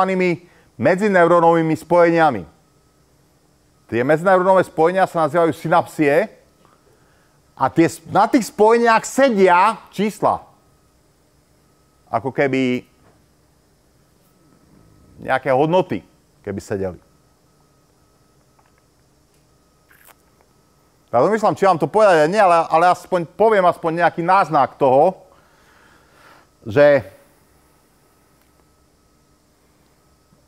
pre krátkosť času som to tu nedal, ale že ako vyzerá biologický neurón. Hej? V mozgu máte zhruba 10 na 15, 10 na 14, 10 na 15 rôznych neurónov, keby ste mali procesory. A každý z tých procesorov má zhruba 10 na 3, 10 na 4 prepojení. To je obrovský, masívne paralelný systém. Ten obrovský, masívne paralelný systém pospájaných rôznych počítačov, neurónov, paradoxne ten neurón je mimoriadne slabý v úvodzovkách. Slabý procesor. To nie je ani i7, ani i neviem čo. Ja mám mobil, čo má 8 jadier. Proste náš mozog je zaujímavý tým, a váš mozog je zaujímavý tým, že veľa pomalých procesorov rieši veľmi komplexné veci. Veľa pomalých procesorov rieši veľmi komplexné veci.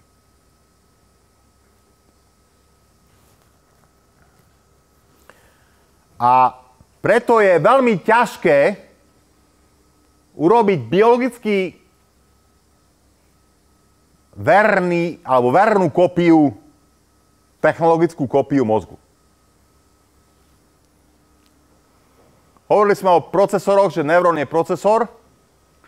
Hovorili sme o synapsiách. V podstate v mozgu to vyzerá tak.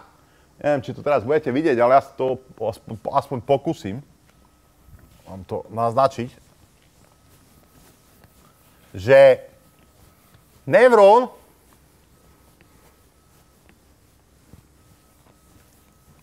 má viac vstupov a jeden výstup. Tak je bolo tá, tá zelená.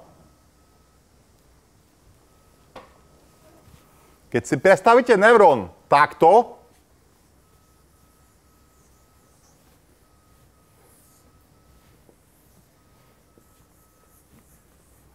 Toto je neurón. Tu sú pripájace body. Od ostatných neurónov. Toto je telo, ktoré sa nazýva soma. Toto je dendrit. Toto je dendrit, toto tu. Dendrit to ináč napíšem, lebo... Ja napíšem tu pojmy, že čo, čo, o čom rozprávam. Dendrit, soma axon. Toto je soma telo, toto tu je dendrit, toto je axon. To je výstup. No, teraz, toto je dôležité tu, čo som, prečo to hovorím, je toto tu. Toto tu. Toto tu, lebo to je znova axon, toto je dendrit a toto tu, tomu sa nadáva, že toto je synapsia.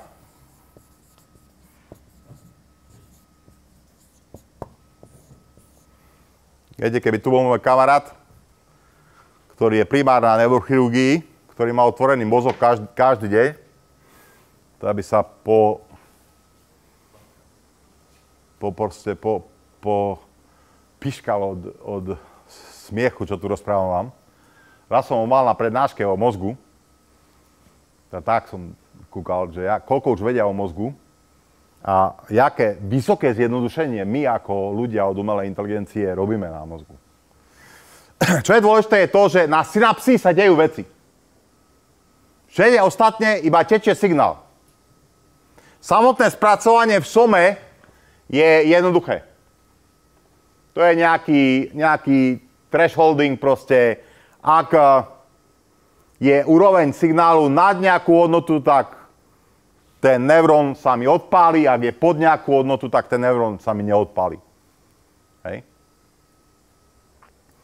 No a toto, čo som vám povedal, toto je biologický neurón a my poďme na umelý neurón. A ten umelý neurón vlastne má dva, alebo neurónová sieť má dva režimy. Jedno je učenie a druhé je život. Pri prvom, pri učení sa synaptické váhy menia.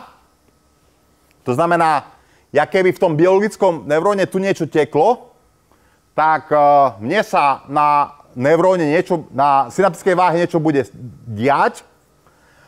Ak sa nedeje, tak hovorím o stave neurónovej siete ako o živote. Posledná vec, ktorú chcem spomenúť, je, že aké topológie existujú, že je dopredná rekurentná, ale to uvidíme tu na. Tu máte dva základné typy neurónových sietí. Všetko je, to, čo sú tie gulky, to je neurón. Tie prepojenia sú no, neurónové tzv. synaptické váhy a to orientované prepojenie, čo je tam, na ňom sedí číslo.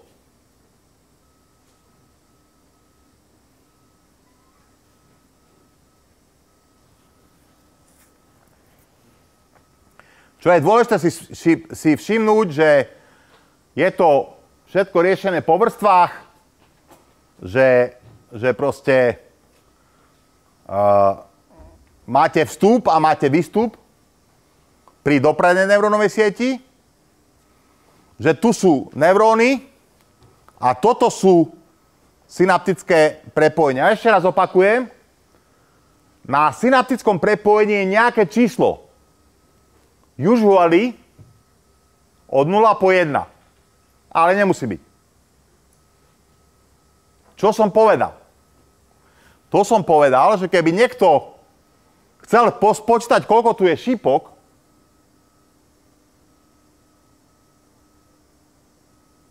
tak toľko parametrov má tá neurónová sieť. Tie parametre, tie šípky potrebujem nastaviť. To je veľký problém. Nastavenie tých šipok, tomu sa nadáva učenie. Ale dojdeme k tomu, že vlastne o čom rozprávam. Ten vstup do neurónovej siete sú príznakové, sú dáta, ktoré sú z príznakového priestoru. A výstup je je to, čo ja očakávam. To znamená, keď si ja predstavím nejakým spôsobom o, nejakú krabicu,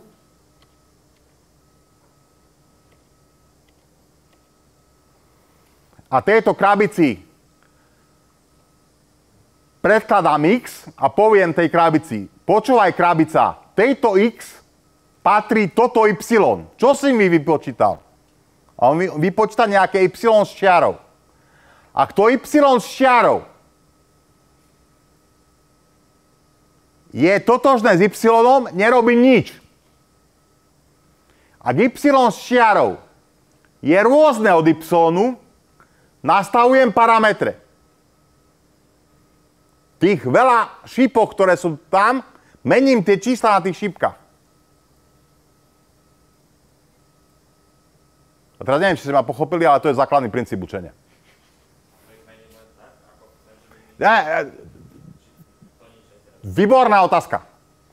Nemôžem ísť tak ďaleko, aby som povedal, ako, ako sa mením, lebo a ako ich budeme meniť, to budeme mať na prednáške o neurónových sieťach. Vedzte, že sa menia.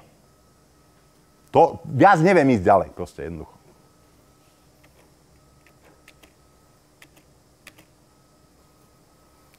A tie rekurentné neurónové siete sú veľmi zaujímavé z toho dôvodu, keď chcete nejakým spôsobom e, monitorovať časové rady. Čo to znamená monitorovať časové rady?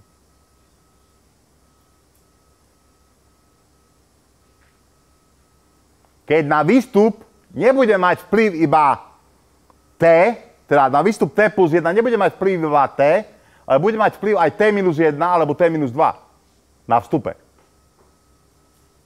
Ak na vstupe budem chcieť dať nejaké časové okno, tak vtedy rekurentné siete majú, majú význam.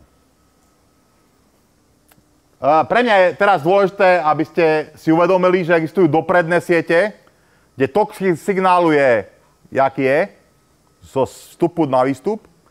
Existujú rekurentné siete, kde ten tok je zo vstupu na výstup, ale môže sa aj vrátiť. Preto sa mu nadáva, že to je rekurencia. No a toto je neurón. To je tá jedna gulka, či čo to je. Tá jedna gulka môže vyzerať tak. Je to procesný element, a, ktorý má vstupy. Tam sú tie synaptické váhy V0, V1 až Vn. A tieto vstupujú do tzv. vstupnej funkcie. Zo vstupnej funkcie idú do aktivačnej funkcie, z aktivačnej funkcie idú do výstupnej funkcie. A dostávame výstup, jeden výstup dostávame, keď to pretransformujete sem, to znamená, to je, keby som dostal tento jeden výstup na základe všetkých vstupov, ktoré tu mi k tomu išli.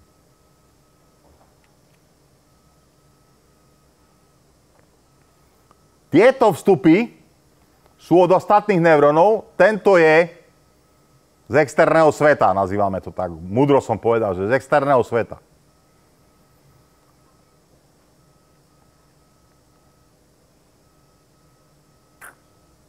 No a neviem, či som vás úplne ne, ne, nezavraždil teraz dneska, ale e, máme dva základné metódy hľadania tých, to, ktorý to povedal, že, že ako sa vypočtávajú. Niektorý z vás to povedal, vy ste povedal, nie? Že ako nájdem tie parametre, na to existujú určité koncepty a to je kontrolované učenie, to znamená, máme vstup a k nemu výstup a snažím sa to tak robiť, aby som proste ten model v tej neurónke nastavil tak, aby mi sa správal ako dáta. To je aproximácia funkcie. A druhé učenie je tzv. nekontrolované učenie. Keď ja nekontrolovaným učením môžem robiť veľmi veľa vecí, ale dáta mám iba zo vstupu. A vtedy sa pýtam, toto, čo neviem, kto mi to tu, niektorá dáma hovorila, myslím, že vy ste hovorili, že v príznakovom priestore, že ktoré sú podobné. Toto ste, myslím, hovorili. Tak práve takáto, takýto challenge, takáto výzva môže byť e, predmetom tzv. nekontrolovaného učenia, keď ja vlastne analizujem príznakový priestor, napríklad 100-rozmerný príznakový priestor, a analizujem nejakou neurónovou sieťou a ja budem mať spusta dát a vlastne dostanem stroj, ktorý mi povie, že dáta číslo 1534 sú podobné ako dáta 2820. Nič viac o tom nebudem vedieť. Budem možno vedieť, že ako zhruba sú zluky rozmiestnené, koľko je ich tam v tom príznakovom priestore 100 rozmernom a aké majú parametre základné.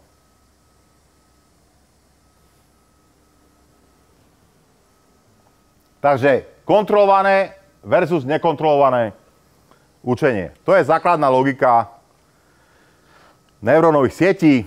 Tu máte napísané trošku matematicky, že keď mám chybu učenia E, čo je vlastne rozdiel medzi očakávanou výstupom a vypočítaným výstupom, ak zmena tejto chyby sa ide ku nule, tak to je proces učenia. Neviem, či to nemali byť váhy. To som asi do toto.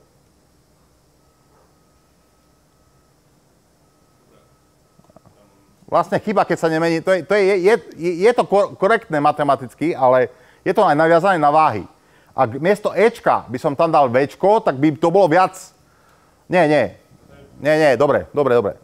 E, Zmena chyby podľa váh, ak je rôzna od nuly, tak je proces učenia. Ak zmena chyby podľa váh je nula, to znamená, váhy sa nemenia, je to proces života. Konec. No. Chybový priestor. Páne Bože.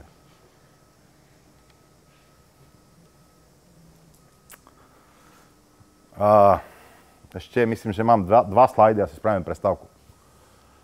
E, nejakým spôsobom musím nájsť tie správne váhy. Tie správne váhy musia byť také, aby chyba pri kontrolovanom učení bola najnižšia. Tých možností, keď sme sa bavili o, o ke- keď napríklad nejaká neurónka má tisíc váh, tak mám tisíc rôznych váh a tie vygenerujú také kombinácie, obrovské množstvo kombinácií. A tu je príklad, keď mám vlastne dve váhy a tu mám chybu. A toto je príklad, akým spôsobom ja viem nájsť napríklad globálne minimum pre túto kombináciu váh. Čiže táto kombinácia váh mi dáva takú minimálnu chybu, ktorú ja vlastne viem dosiahnuť a tieto váhy ja vlastne hľadám. Čiže chybový priestor je vlastne n plus 1 rozmerný priestor, v ktorom prvých n parametrov sú váhy a ten n plus prvý parameter je chyba. Čiže moja výzva je nájsť také váhy, aby chyba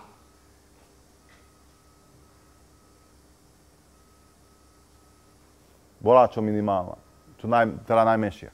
A teraz chyba, čo to je chyba? Čo je to chyba?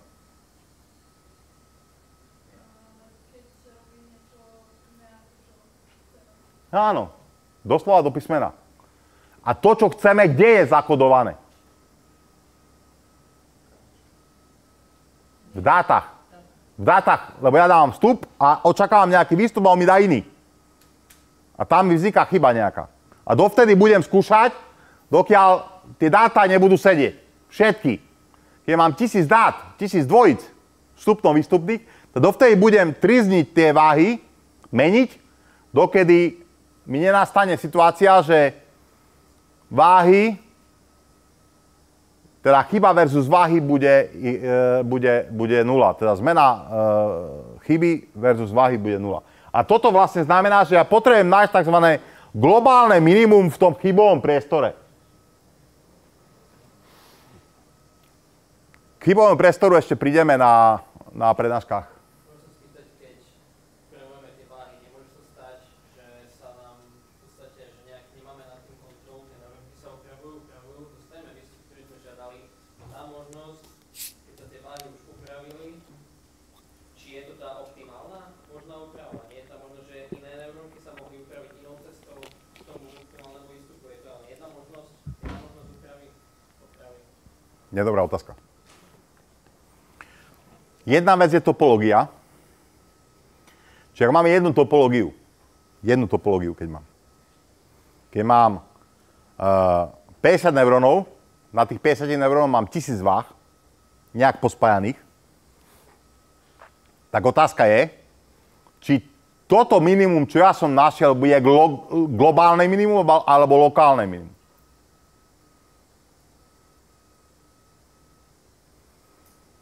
Lebo vy už atakujete iný problém a viete, pre mňa to bolo dosť, dosť také, nie že poviem, ťažké. Dať vám nejaké základy, aby vám to vytváralo nejakú skladačku, hoci niekedy mám... Je, je to veľmi ťažké, uh, ako vám to nepovedať celé, iba vám povedať základy, lebo vy atakujete to, že vlastne aká bude... Na jeden a ten istý problém môže mať rôzne topológie. Keď sa vrátim späť,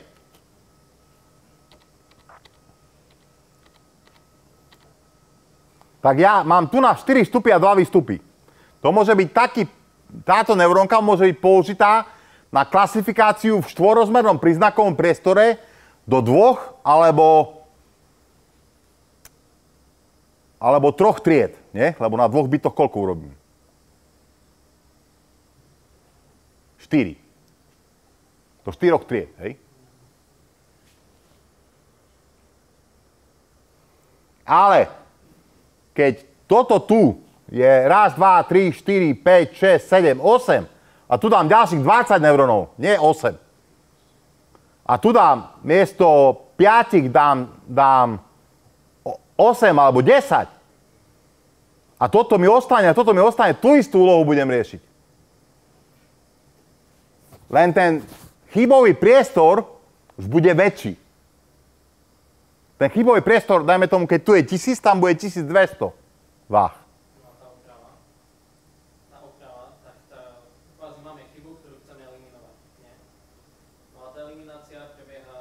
Nie? A eliminácia Nie, je dobré. Akože chybu, zmenšo, sme, chybu chcem hnať do nuly alebo do minima. To znamená, v prvom prípade idem v 1001 rozmernom priestore a v druhom prípade v 1201 rozmernom priestore. A hľadám také váhy, v prvom prípade 1000 váh a v druhom prípade 1200 váh.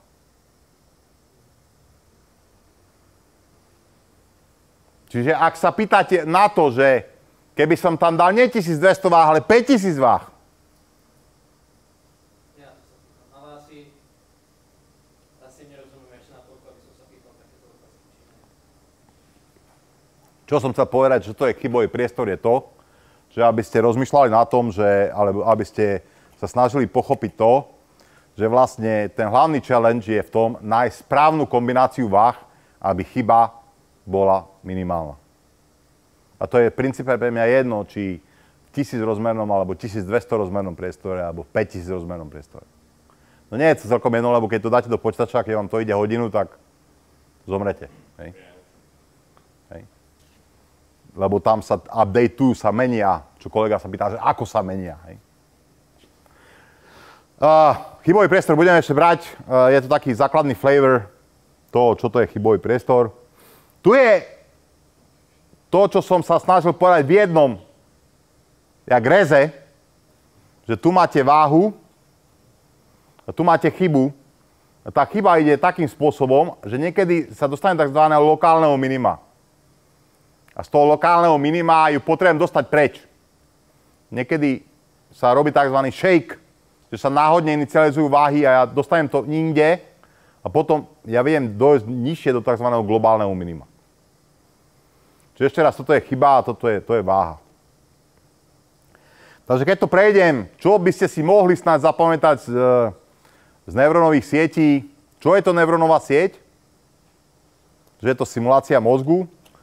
Aké, aké, a, čo to je topológia? Čo to je neurón? Čo je to synaptická váha? Čo to je, akú štruktúru má neurón? Čo to je kontrolované učenie, čo to je nekontrolované učenie? Ako tieto veci súvisia s príznakovým priestorom? Čo to je učenie, čo to nie je učenie? Ako hľadám tie veci a to hľadám ich v príznakovom priestore. O stratégii, ako hľadám, neho rozprávam. Na to bude špeciálna prednáška. Toľko je k tej prvej časti. Ja nám to stále tak vychádza, že, že nes- nestiam a zrejme veľmi jednoducho si predstavujem život.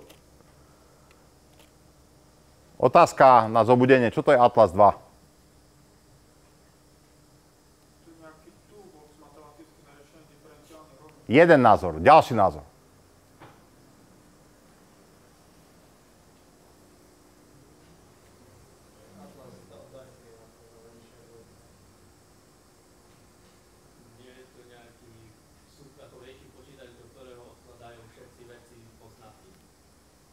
Ďalší názor.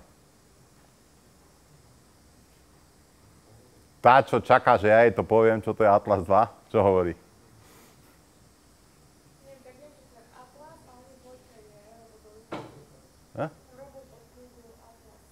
Robot od Google. Ďalší názor.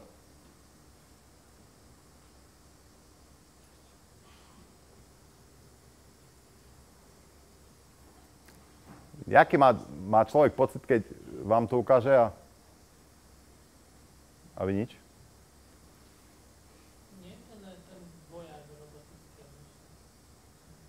Áno. Atlas 2 je práve ten, ten, čo som vám minule ukazoval. Čiže ak to nájdem, tak to nájdem.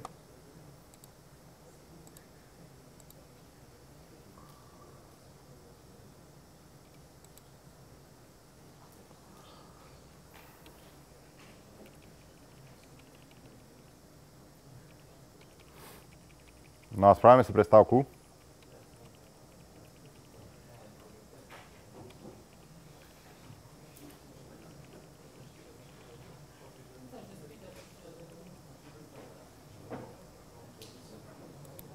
Bolo to to?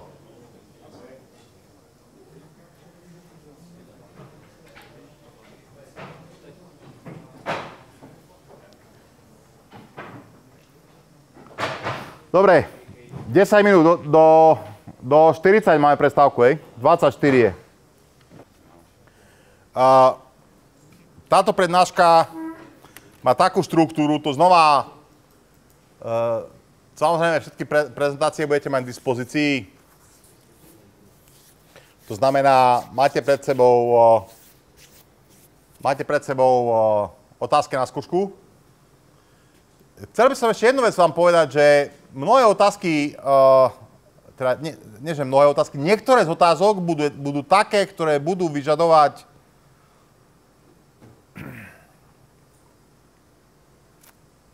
váš oso- osobný názor.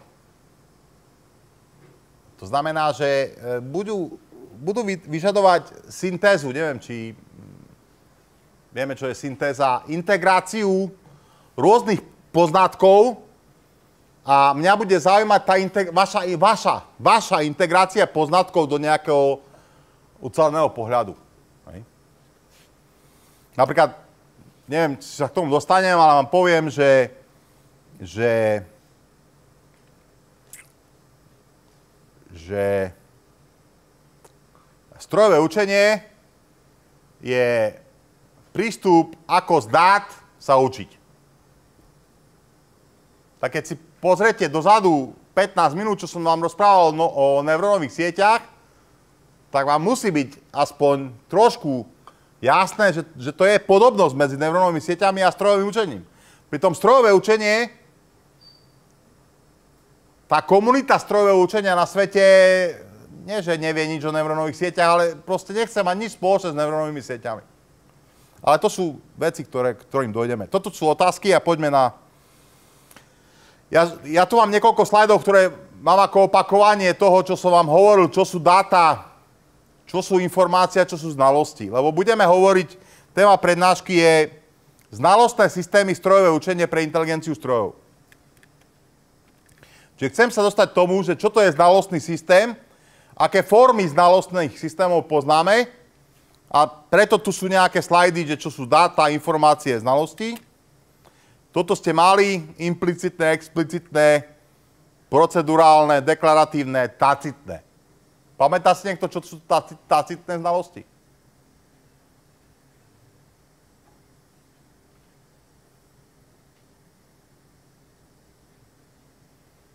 Tacitné znalosti. Vy budete vedieť. No? Vy, vy, hej. Nič? Nikto si nespomína. Tacitná znalosť je nevyslovená znalosť. Nevyslovená znalosť uh,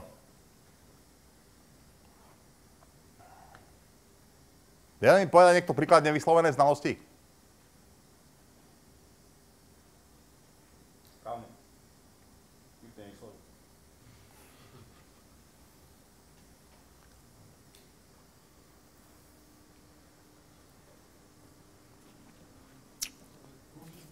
No?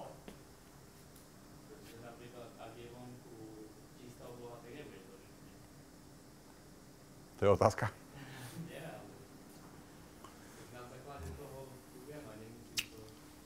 Kto má iPhone? Prečo ho máte?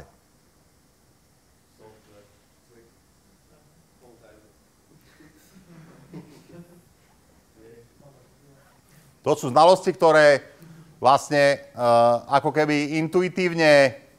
Ja mám napríklad rád Ford. Konec. Mám dobrú skúsenosť s ním.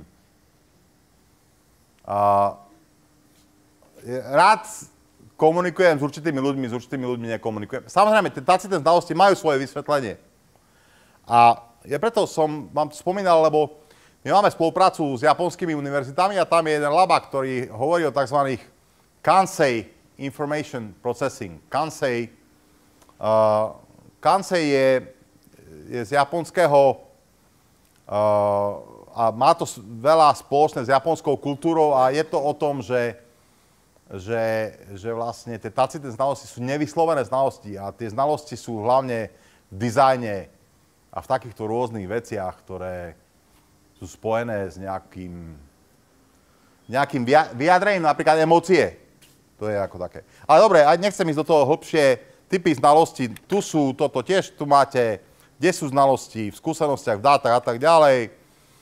Že žijeme v období veľkých dát, toto, prosím vás, berte na vedomie.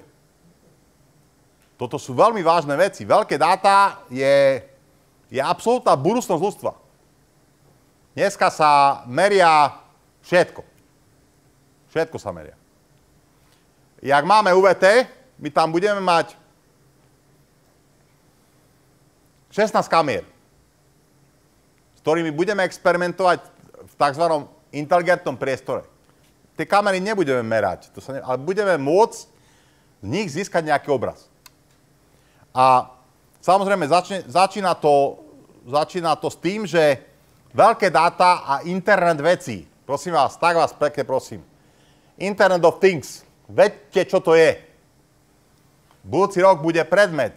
Vás sa, neviem, či dotkne, umelá inteligencia a internet, of, a internet veci. Budete mať budúci rok, budete mať predmet, ktorý sa volá Industry 4.0. Proste toto sú veci, ktoré sú absolútne zá, základné veci pre nové technológie. Keď pôjdete niekde do zamestnania a, a, a budete vedieť aspoň základný koncept Industry 4.0, už máte vyššiu pridanú hodnotu. Cloudy, cloudové technológie, to sú veľmi dôležité veci. Dobre, štyri základné formy znalostných systémov. Sú tzv. zberné systémy, potom sú tzv. zo zberných systémov vyššie systémy sú tzv. konzultačné systémy. A potom z týchto konzultačných systémov nejakým spôsobom evolvovali alebo vznikli znalostné systémy a vrchol tvoria tzv. expertné systémy.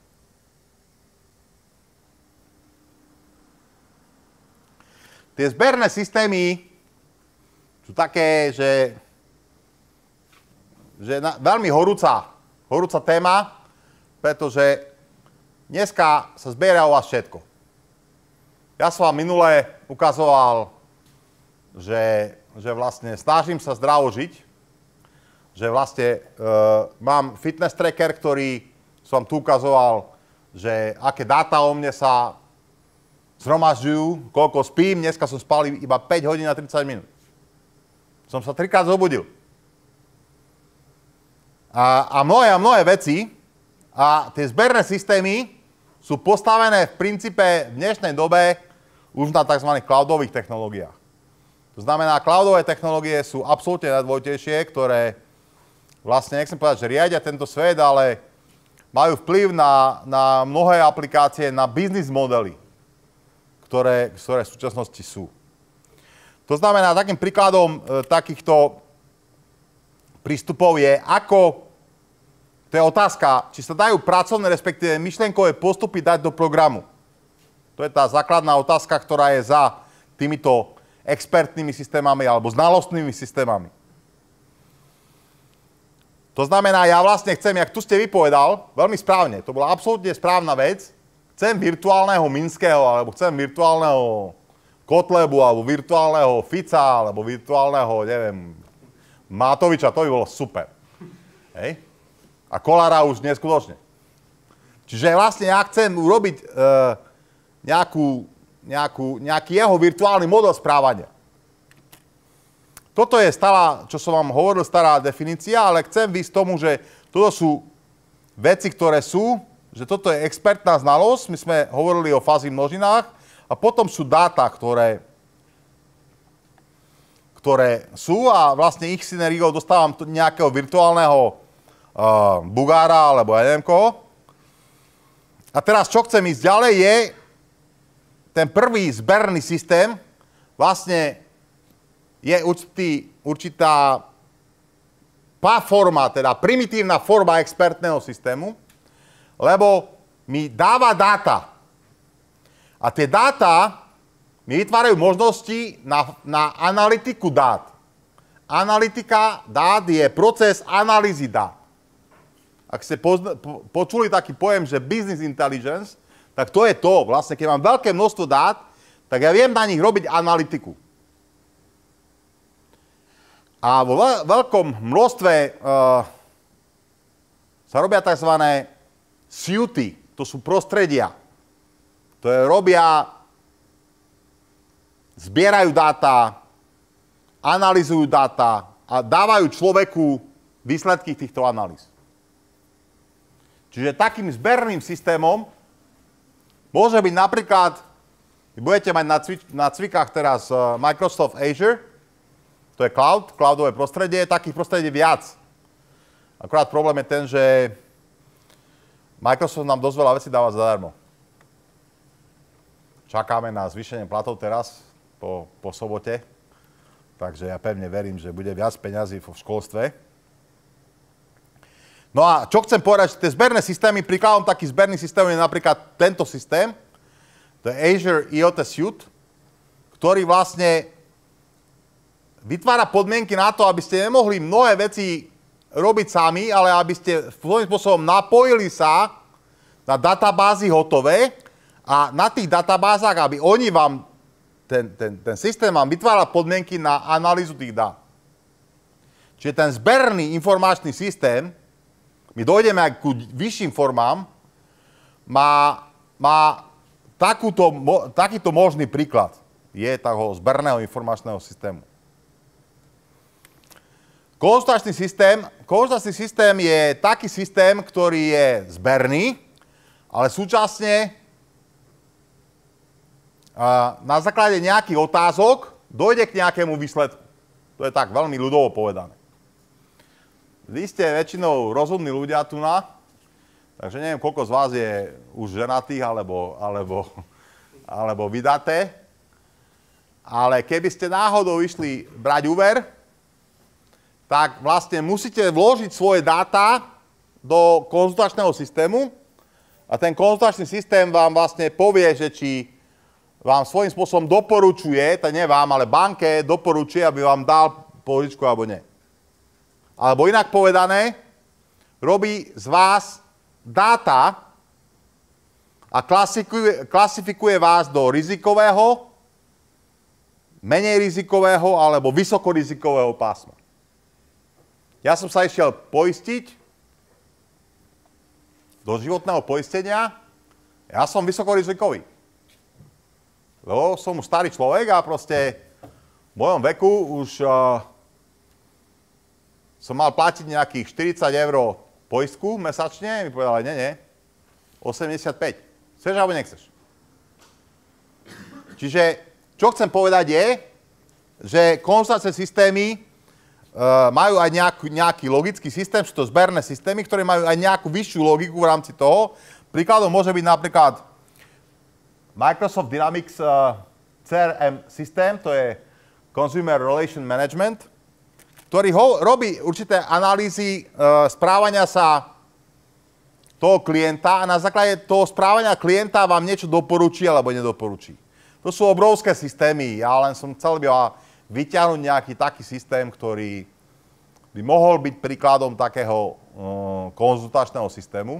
Samozrejme, on musí generovať rôzne dáta, respektíve aj otázky. Vy budete na cvikách e, budúci týždeň robiť taký úplne jednoduchý expertný systém, ktorý vám bude dávať nejaké základné otázky a e, on vám bude na základe toho robiť nejaké závery.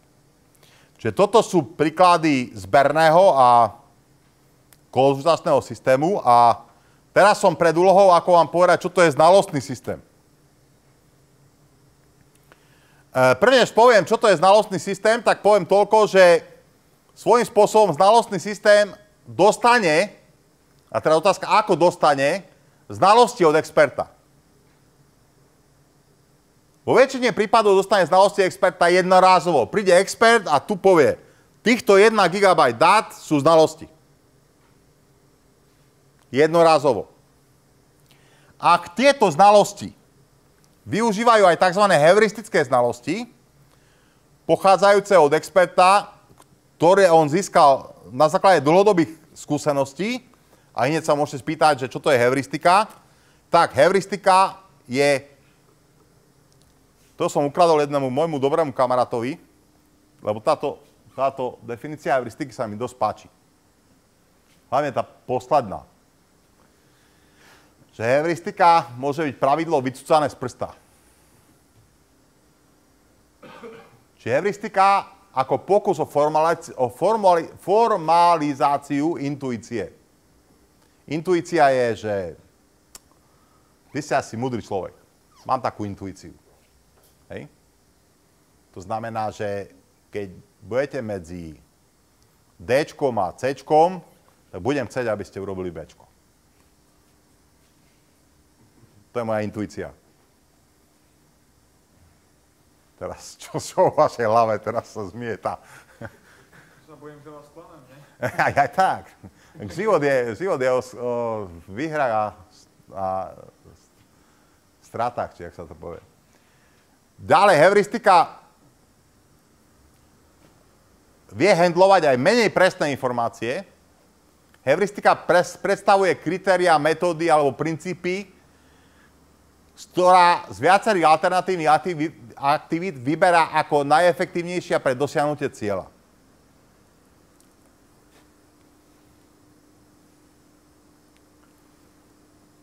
Napríklad, neuveríte mi, ale existuje metóda pokus omyl. Niekedy je fakt veľmi, dvo, veľmi efektívna. Pokus omyl.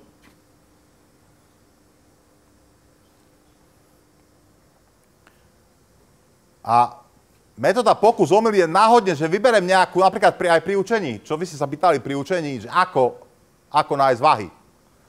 Navrhnem náhodne tisíc váh, vyskúšam. Menšuje sa chyba? Nie. Zavrhnem. Znova vyskúšam. Menšuje sa chyba? Áno. Príjmem. A takáto sranda, keď sa urobí, tak sa nájde zhruba oblasť v priestore možnosti, kde, kde proste sú tie váhy. A to, to, to, tomu sa hovorí heuristický prístup. Čiže mnohé aj prístupy, ktoré, ktoré že ja cítim na základe dát, lebo vidím tie dáta, ako vyzerajú, že aké, aké váhy použiť, tak tomu sa hovoria heuristické prístupy. A toto, sú, toto je slajd, ktorý som ukradol uh, docentovi Vtáčnikovi. Viete, kto bol docent Vtáčnik? Ale no. Primátor Bratislavy. On je človek umelej inteligencie inak. On, on, rátate s tým, že na vašich štátniciach možno bude. Čiže to je heuristika. Čiže rozdiel medzi znalostným systémom a expertným systémom je ten, že v expertnom systéme už existujú heuristické znalosti. Kým v znalostnom systéme neexistujú ex- e, heuristické znalosti, v expertnom systéme už existujú ex- e, heuristické znalosti. Aká je štruktúra expertného systému? Tu je ten človek, ktorý s týmto expertným systémom robí. Robí s jadrom, a to jadro má, ba, nie že jadro má, jadro spolupracuje s bázou znalostí a s bázou dát. Rozdiel je, báza znalostí vlastne vzniká svojím spôsobom z bázy dát a vlastne tam sa formulujú tie znalosti, ktoré sa následne využívajú pri procesoch hľadania nejakých riešení. Čiže toto je základná štruktúra, tam tečú dáta. Tu som vám naznačil, že vo väčšine prípadov tie dáta sú už veľké. Čiže kým pred 5 rokmi by som vám povedal, že to sám sú megabajty, teraz hovorím, že tam sú terabajty dát. Závisí od aplikácie, ale v dnešnej dobe už, už to je ďaleko. No a vlastne, čiže teraz situácia je taká, že toto je štruktúra expertného systému a chcel by som povedať niečo o jadre expertného systému. Čiže poďme na to, že čo, čo to znamená jadro expertného systému, respektíve ešte predtým vám poviem, že k tejto, že aké, aké typy expertného systému existujú, a to také, ktoré majú pevnú bázu znalostí, alebo adaptívnu bázu znalostí, a tie, ktoré majú vysvetľovacie mechanizmy a ktoré sú bez vysvetľovacieho mechanizmu. Čiže ak táto báza znalostí, ktorá je tu, bude raz daná na veky vekov, tak je pevná. Ak bude existovať nejaký mechanizmus updateu tej bázy znalostí, tak vtedy bude adaptívna. Uh, vysvetľovací mechanizmus to vám spoviem v ďalšom, ale toto je dôležité že vlastne tu to jádro expertného systému má inferenčný mechanizmus a ten inferenčný mechanizmus je veľmi zaujímavý, pretože inferenčný mechanizmus uh, je inferenčným mechanizmom a za chvíľku by sme mali vedieť povedať, čo to je inferencia. Ale pomocou inferenčného mechanizmu sa vytvára model a tiež aj na základe neho sa dávajú dáta do vysvetľovacieho mechanizmu. Čiže kým ja tu na, do vstupu dostanem nejakú, nejaké, nejaký vstup zo znalostí do inferenčného mechanizmu, týmto celým postupom dostanem výsledok a keď chcem aj vysvetlenie, dostanem aj vysvetlenie. Keď zastanem pri neurónových sieťach, pri neurónových sieťach nikdy nedostanete vysvetlenie. Ale pri expertnom systéme môžete dostať vysvetlenie, prečo ste nedostali pôžičku. Neurónová sieť vám nebude vedieť dokázať, alebo vysvetliť, alebo povedať, že prečo ste nedostali do, e, pôžičku, kým expertné systémy vám budú vedieť povedať nejakým odvodzovaním, že váš príjem je veľmi nízky a je potenciál, že budete mať viac detí, takže sorry. Poďme sa na to pozrieť, že nejaký rozdiel medzi bázou dát a bázou znalostí. Tie dáta sú dáta numerické alebo nenumerické, kým znalosti sú vo formách rôznych, pravidlové, ontologické, môže byť aj neurónová sieť. A k čomu ja chcem sa hlavne dostať je toto. Čo to je inferencia?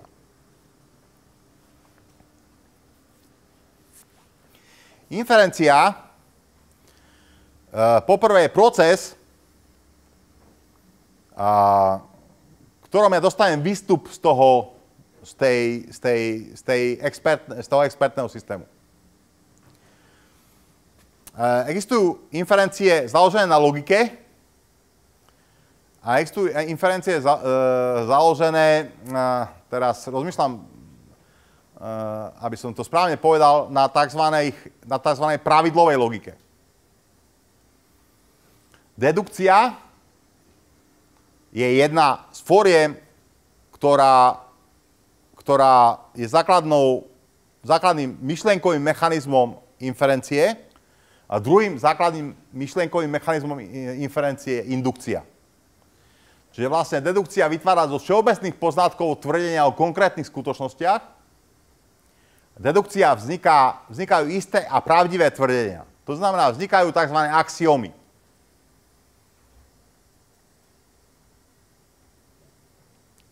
Kým indukcia, tam vynikajú tvrdenia, ktoré majú určitú pravdepodobnosť a vytvára stvrdení aj vytvára stvrdenie konkrétnych faktov všeobecné tvrdenia. Čiže to je indukcia. Hej. Čiže toto je forma inferencie, ale To je iba jedna z fóriem inferencie. Ďalšou formou inferencie je, a toto má veľa spoločné s tým, čo sme sa bavili o fázi množinách, to je druhá, že inferencia v pravidlových systémoch môže hľadať príspevok jednotlivých pravidiel k výpočtu výsledku ku konkrétnemu výstupu. To znamená, si predstavte napríklad, že máte pravidlový inferenčný systém, ktorý tu na v tomto inferenčnom mechanizme bude mať 5525 pravidel. A príde mi nejaká konkrétna hodnota na vstupe a ja chcem vedieť, ktoré pravidlá z tých 5225 pravidel budú aktívne a mi vyplujú výsledok. Čiže inferenčný mechanizmus bude, bude skúmať v tomto prípade príspevok jednotlivých pravidiel ku výpočtu konkrétneho výstupu.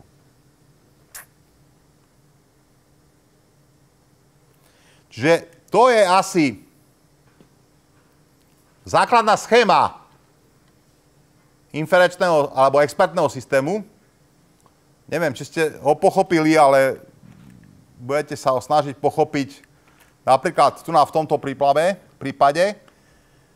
To je na finančných trhoch, keď príde nejaký problém a teraz ja ten problém porovnávam s nejakou všeobecnou znalosťou. Tá všeobecná znalosť, ak bola, tak uh, ju navrhnem. Ak uh, bola dobrá, tak ju potvrdím ak nebola dobrá, tak ju nejak ju, ju updatenem.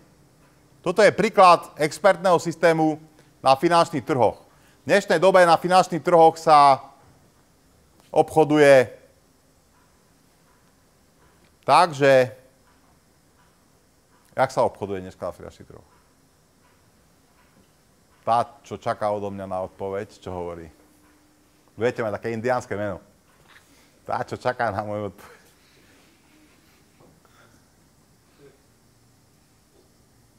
Kto obchoduje? Ľudia alebo stroje?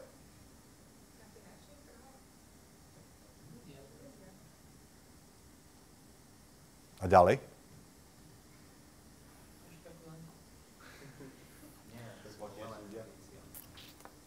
Existujú dlhodobé obchody a krátkodobé obchody. Obchody. Obchody na sekundovej báze robia stroje. Existujú obchody aj na mikrosekundovej báze. To znamená, že e, váš, váš, vaša, e, váš, jak to povedať, váš e, majetok môže ísť z 10 miliónov na nulu, hore na 20 miliónov v priebehu 5 sekúnd. Ja by som zomrel. Hej? Toto robia stroje. Lebo to nestihne človek fyzicky robiť. Ale dlhodobé investície, dlhodobé veci robia samozrejme ľudia. Otázka je, čo ovplyvňuje trh. Aj tieto mikroobchody ovplyvňujú trhy.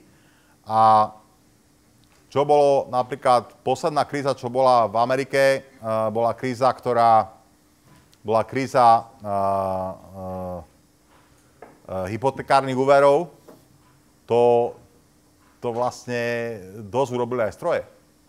Ja som bol na konferencii v Barcelone, a tí chlapci hovorili, lebo tam bola špeciálna sekcia umelá inteligencia o finančníctve, že čo sme mali povedať, že neviem, kto bol vtedy prezident. E, na to si pamätám, že ten systém, ktorý obchodoval, to bol Nikol- Nikolaus, sa volal ten systém. Že Nikolaus spôsobil finančnú krízu. Skutočne mikroobchody uh, sú, robia stroje. My sme mali tu na jednu firmu, ktorá ktorá sa týmto zaoberala a riešila to, že za koľko milisekúnd, alebo milisekúnd, áno, z Londýna prídu signály do, z burzy londýnskej. Lebo chcela čím rýchlejšie mať, aby rozhodla.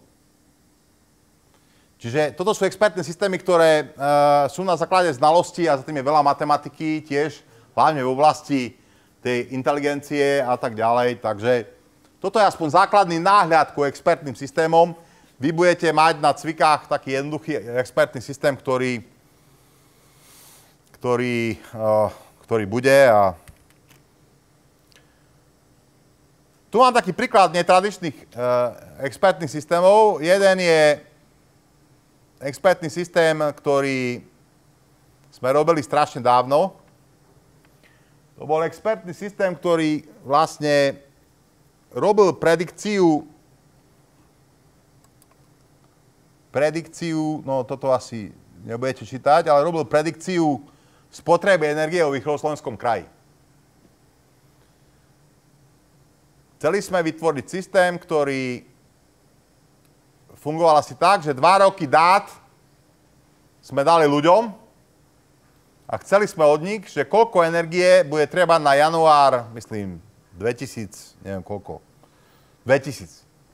Na 30 dní sme chceli, koľko energie treba na východoslovenský kraj.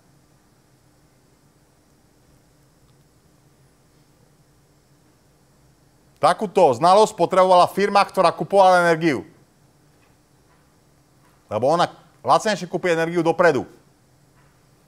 No a záver je, je taký.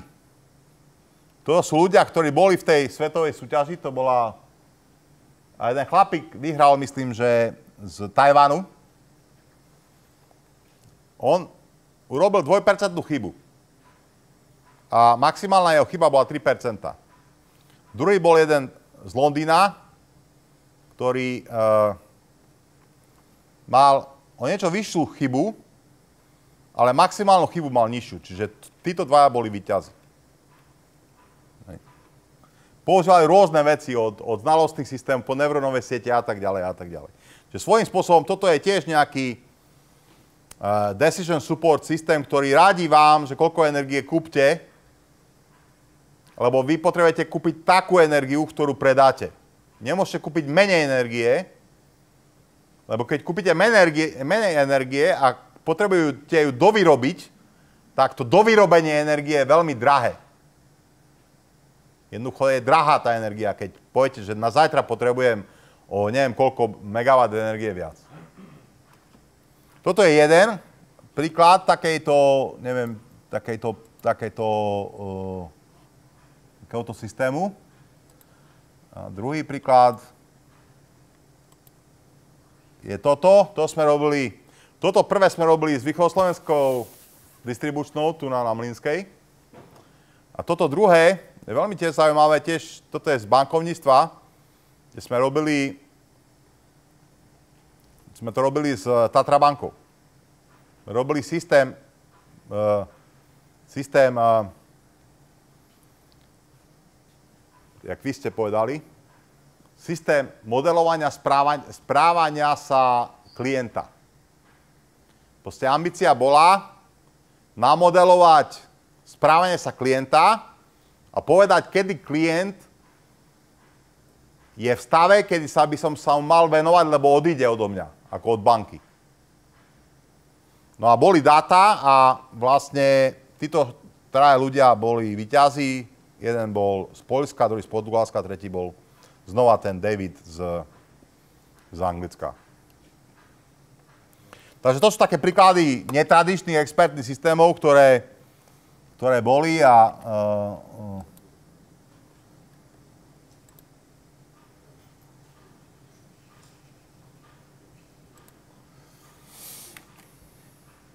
A teraz pozrieme jedno video, aby sme všetci nezaspali. Toto tu je celkom pekné video, ktoré povie vám o, o expertnom systéme v medicíne.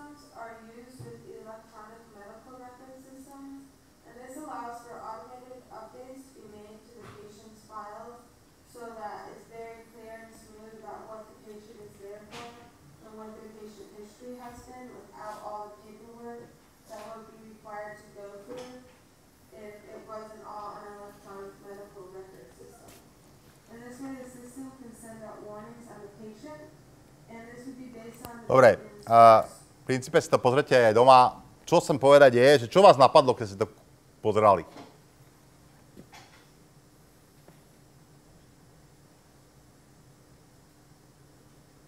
Kto z vás da, uh, bol na odber krvi? Ten papier, čo ste dostali, jak vyzerá?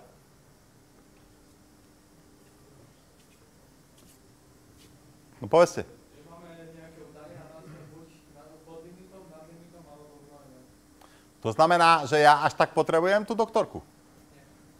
To znamená, že teoreticky, keby som e, daroval krv, tak vlastne výsledok mi môže dať stroj, ja si kúknem a keď všetko je OK, tak hasta na vista.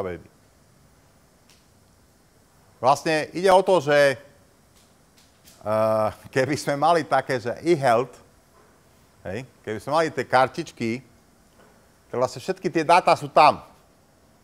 Takže vlastne tie základné uh, kontroly, to, že napríklad CRP, neviem, či viete, čo to je CRP v krvi, je to, že či máte zápal alebo nie. To, to by mohol mi poradiť aj stroj. A ja na to nepotrebujem a znalosť toho, samozrejme, to nie je také jednoduché, ja to celé ho, hovorím teraz. Lebo keď máte CRP a ešte niečo máte iné, tak sú tu zložité, zložité veci. Takže ja by som to pomaličky zavieral, lebo je 15-15, že tu by sme niekde skončili uh, a na budúci týždeň budeme pokračovať. Vyzerá to tak, že dokončíme túto prednášku a potom ešte sa vrátime naspäť ku, ku tomu, čo budete mať na cvikách. Vážení, nejaké otázky ešte narýchlo? Chcel by som vás veľmi pekne poprosiť. A teraz úplne vážne to poviem. Prišiel teraz niekto za mnou, že, že, že, že asi budem za, neviem, za, neviem za čo. Prosím vás, na kolena vás prosím, nebojte sa spýtať aj hociakú ľahkú otázku. Lebo je to strašne dôležité. Ja by som veľmi nerad tu rozprával ku živým mŕtvalám, a proste vôbec nemám ambíciu tu na... E, mnohé veci neviem, mnohé veci možno viem, ale pýtajte sa aj jednoduché veci. Je to absolútny základ úspechu. Na cvikách budete mať e, kolegu Takáča, bude tlak na vás, aby ste sa snažili pochopiť cloudové technológie, programovanie, lebo si myslíme, že umelá inteligencia a cloudy sú veľmi dôležité. Ďakujem, pekný deň, majte sa krásne.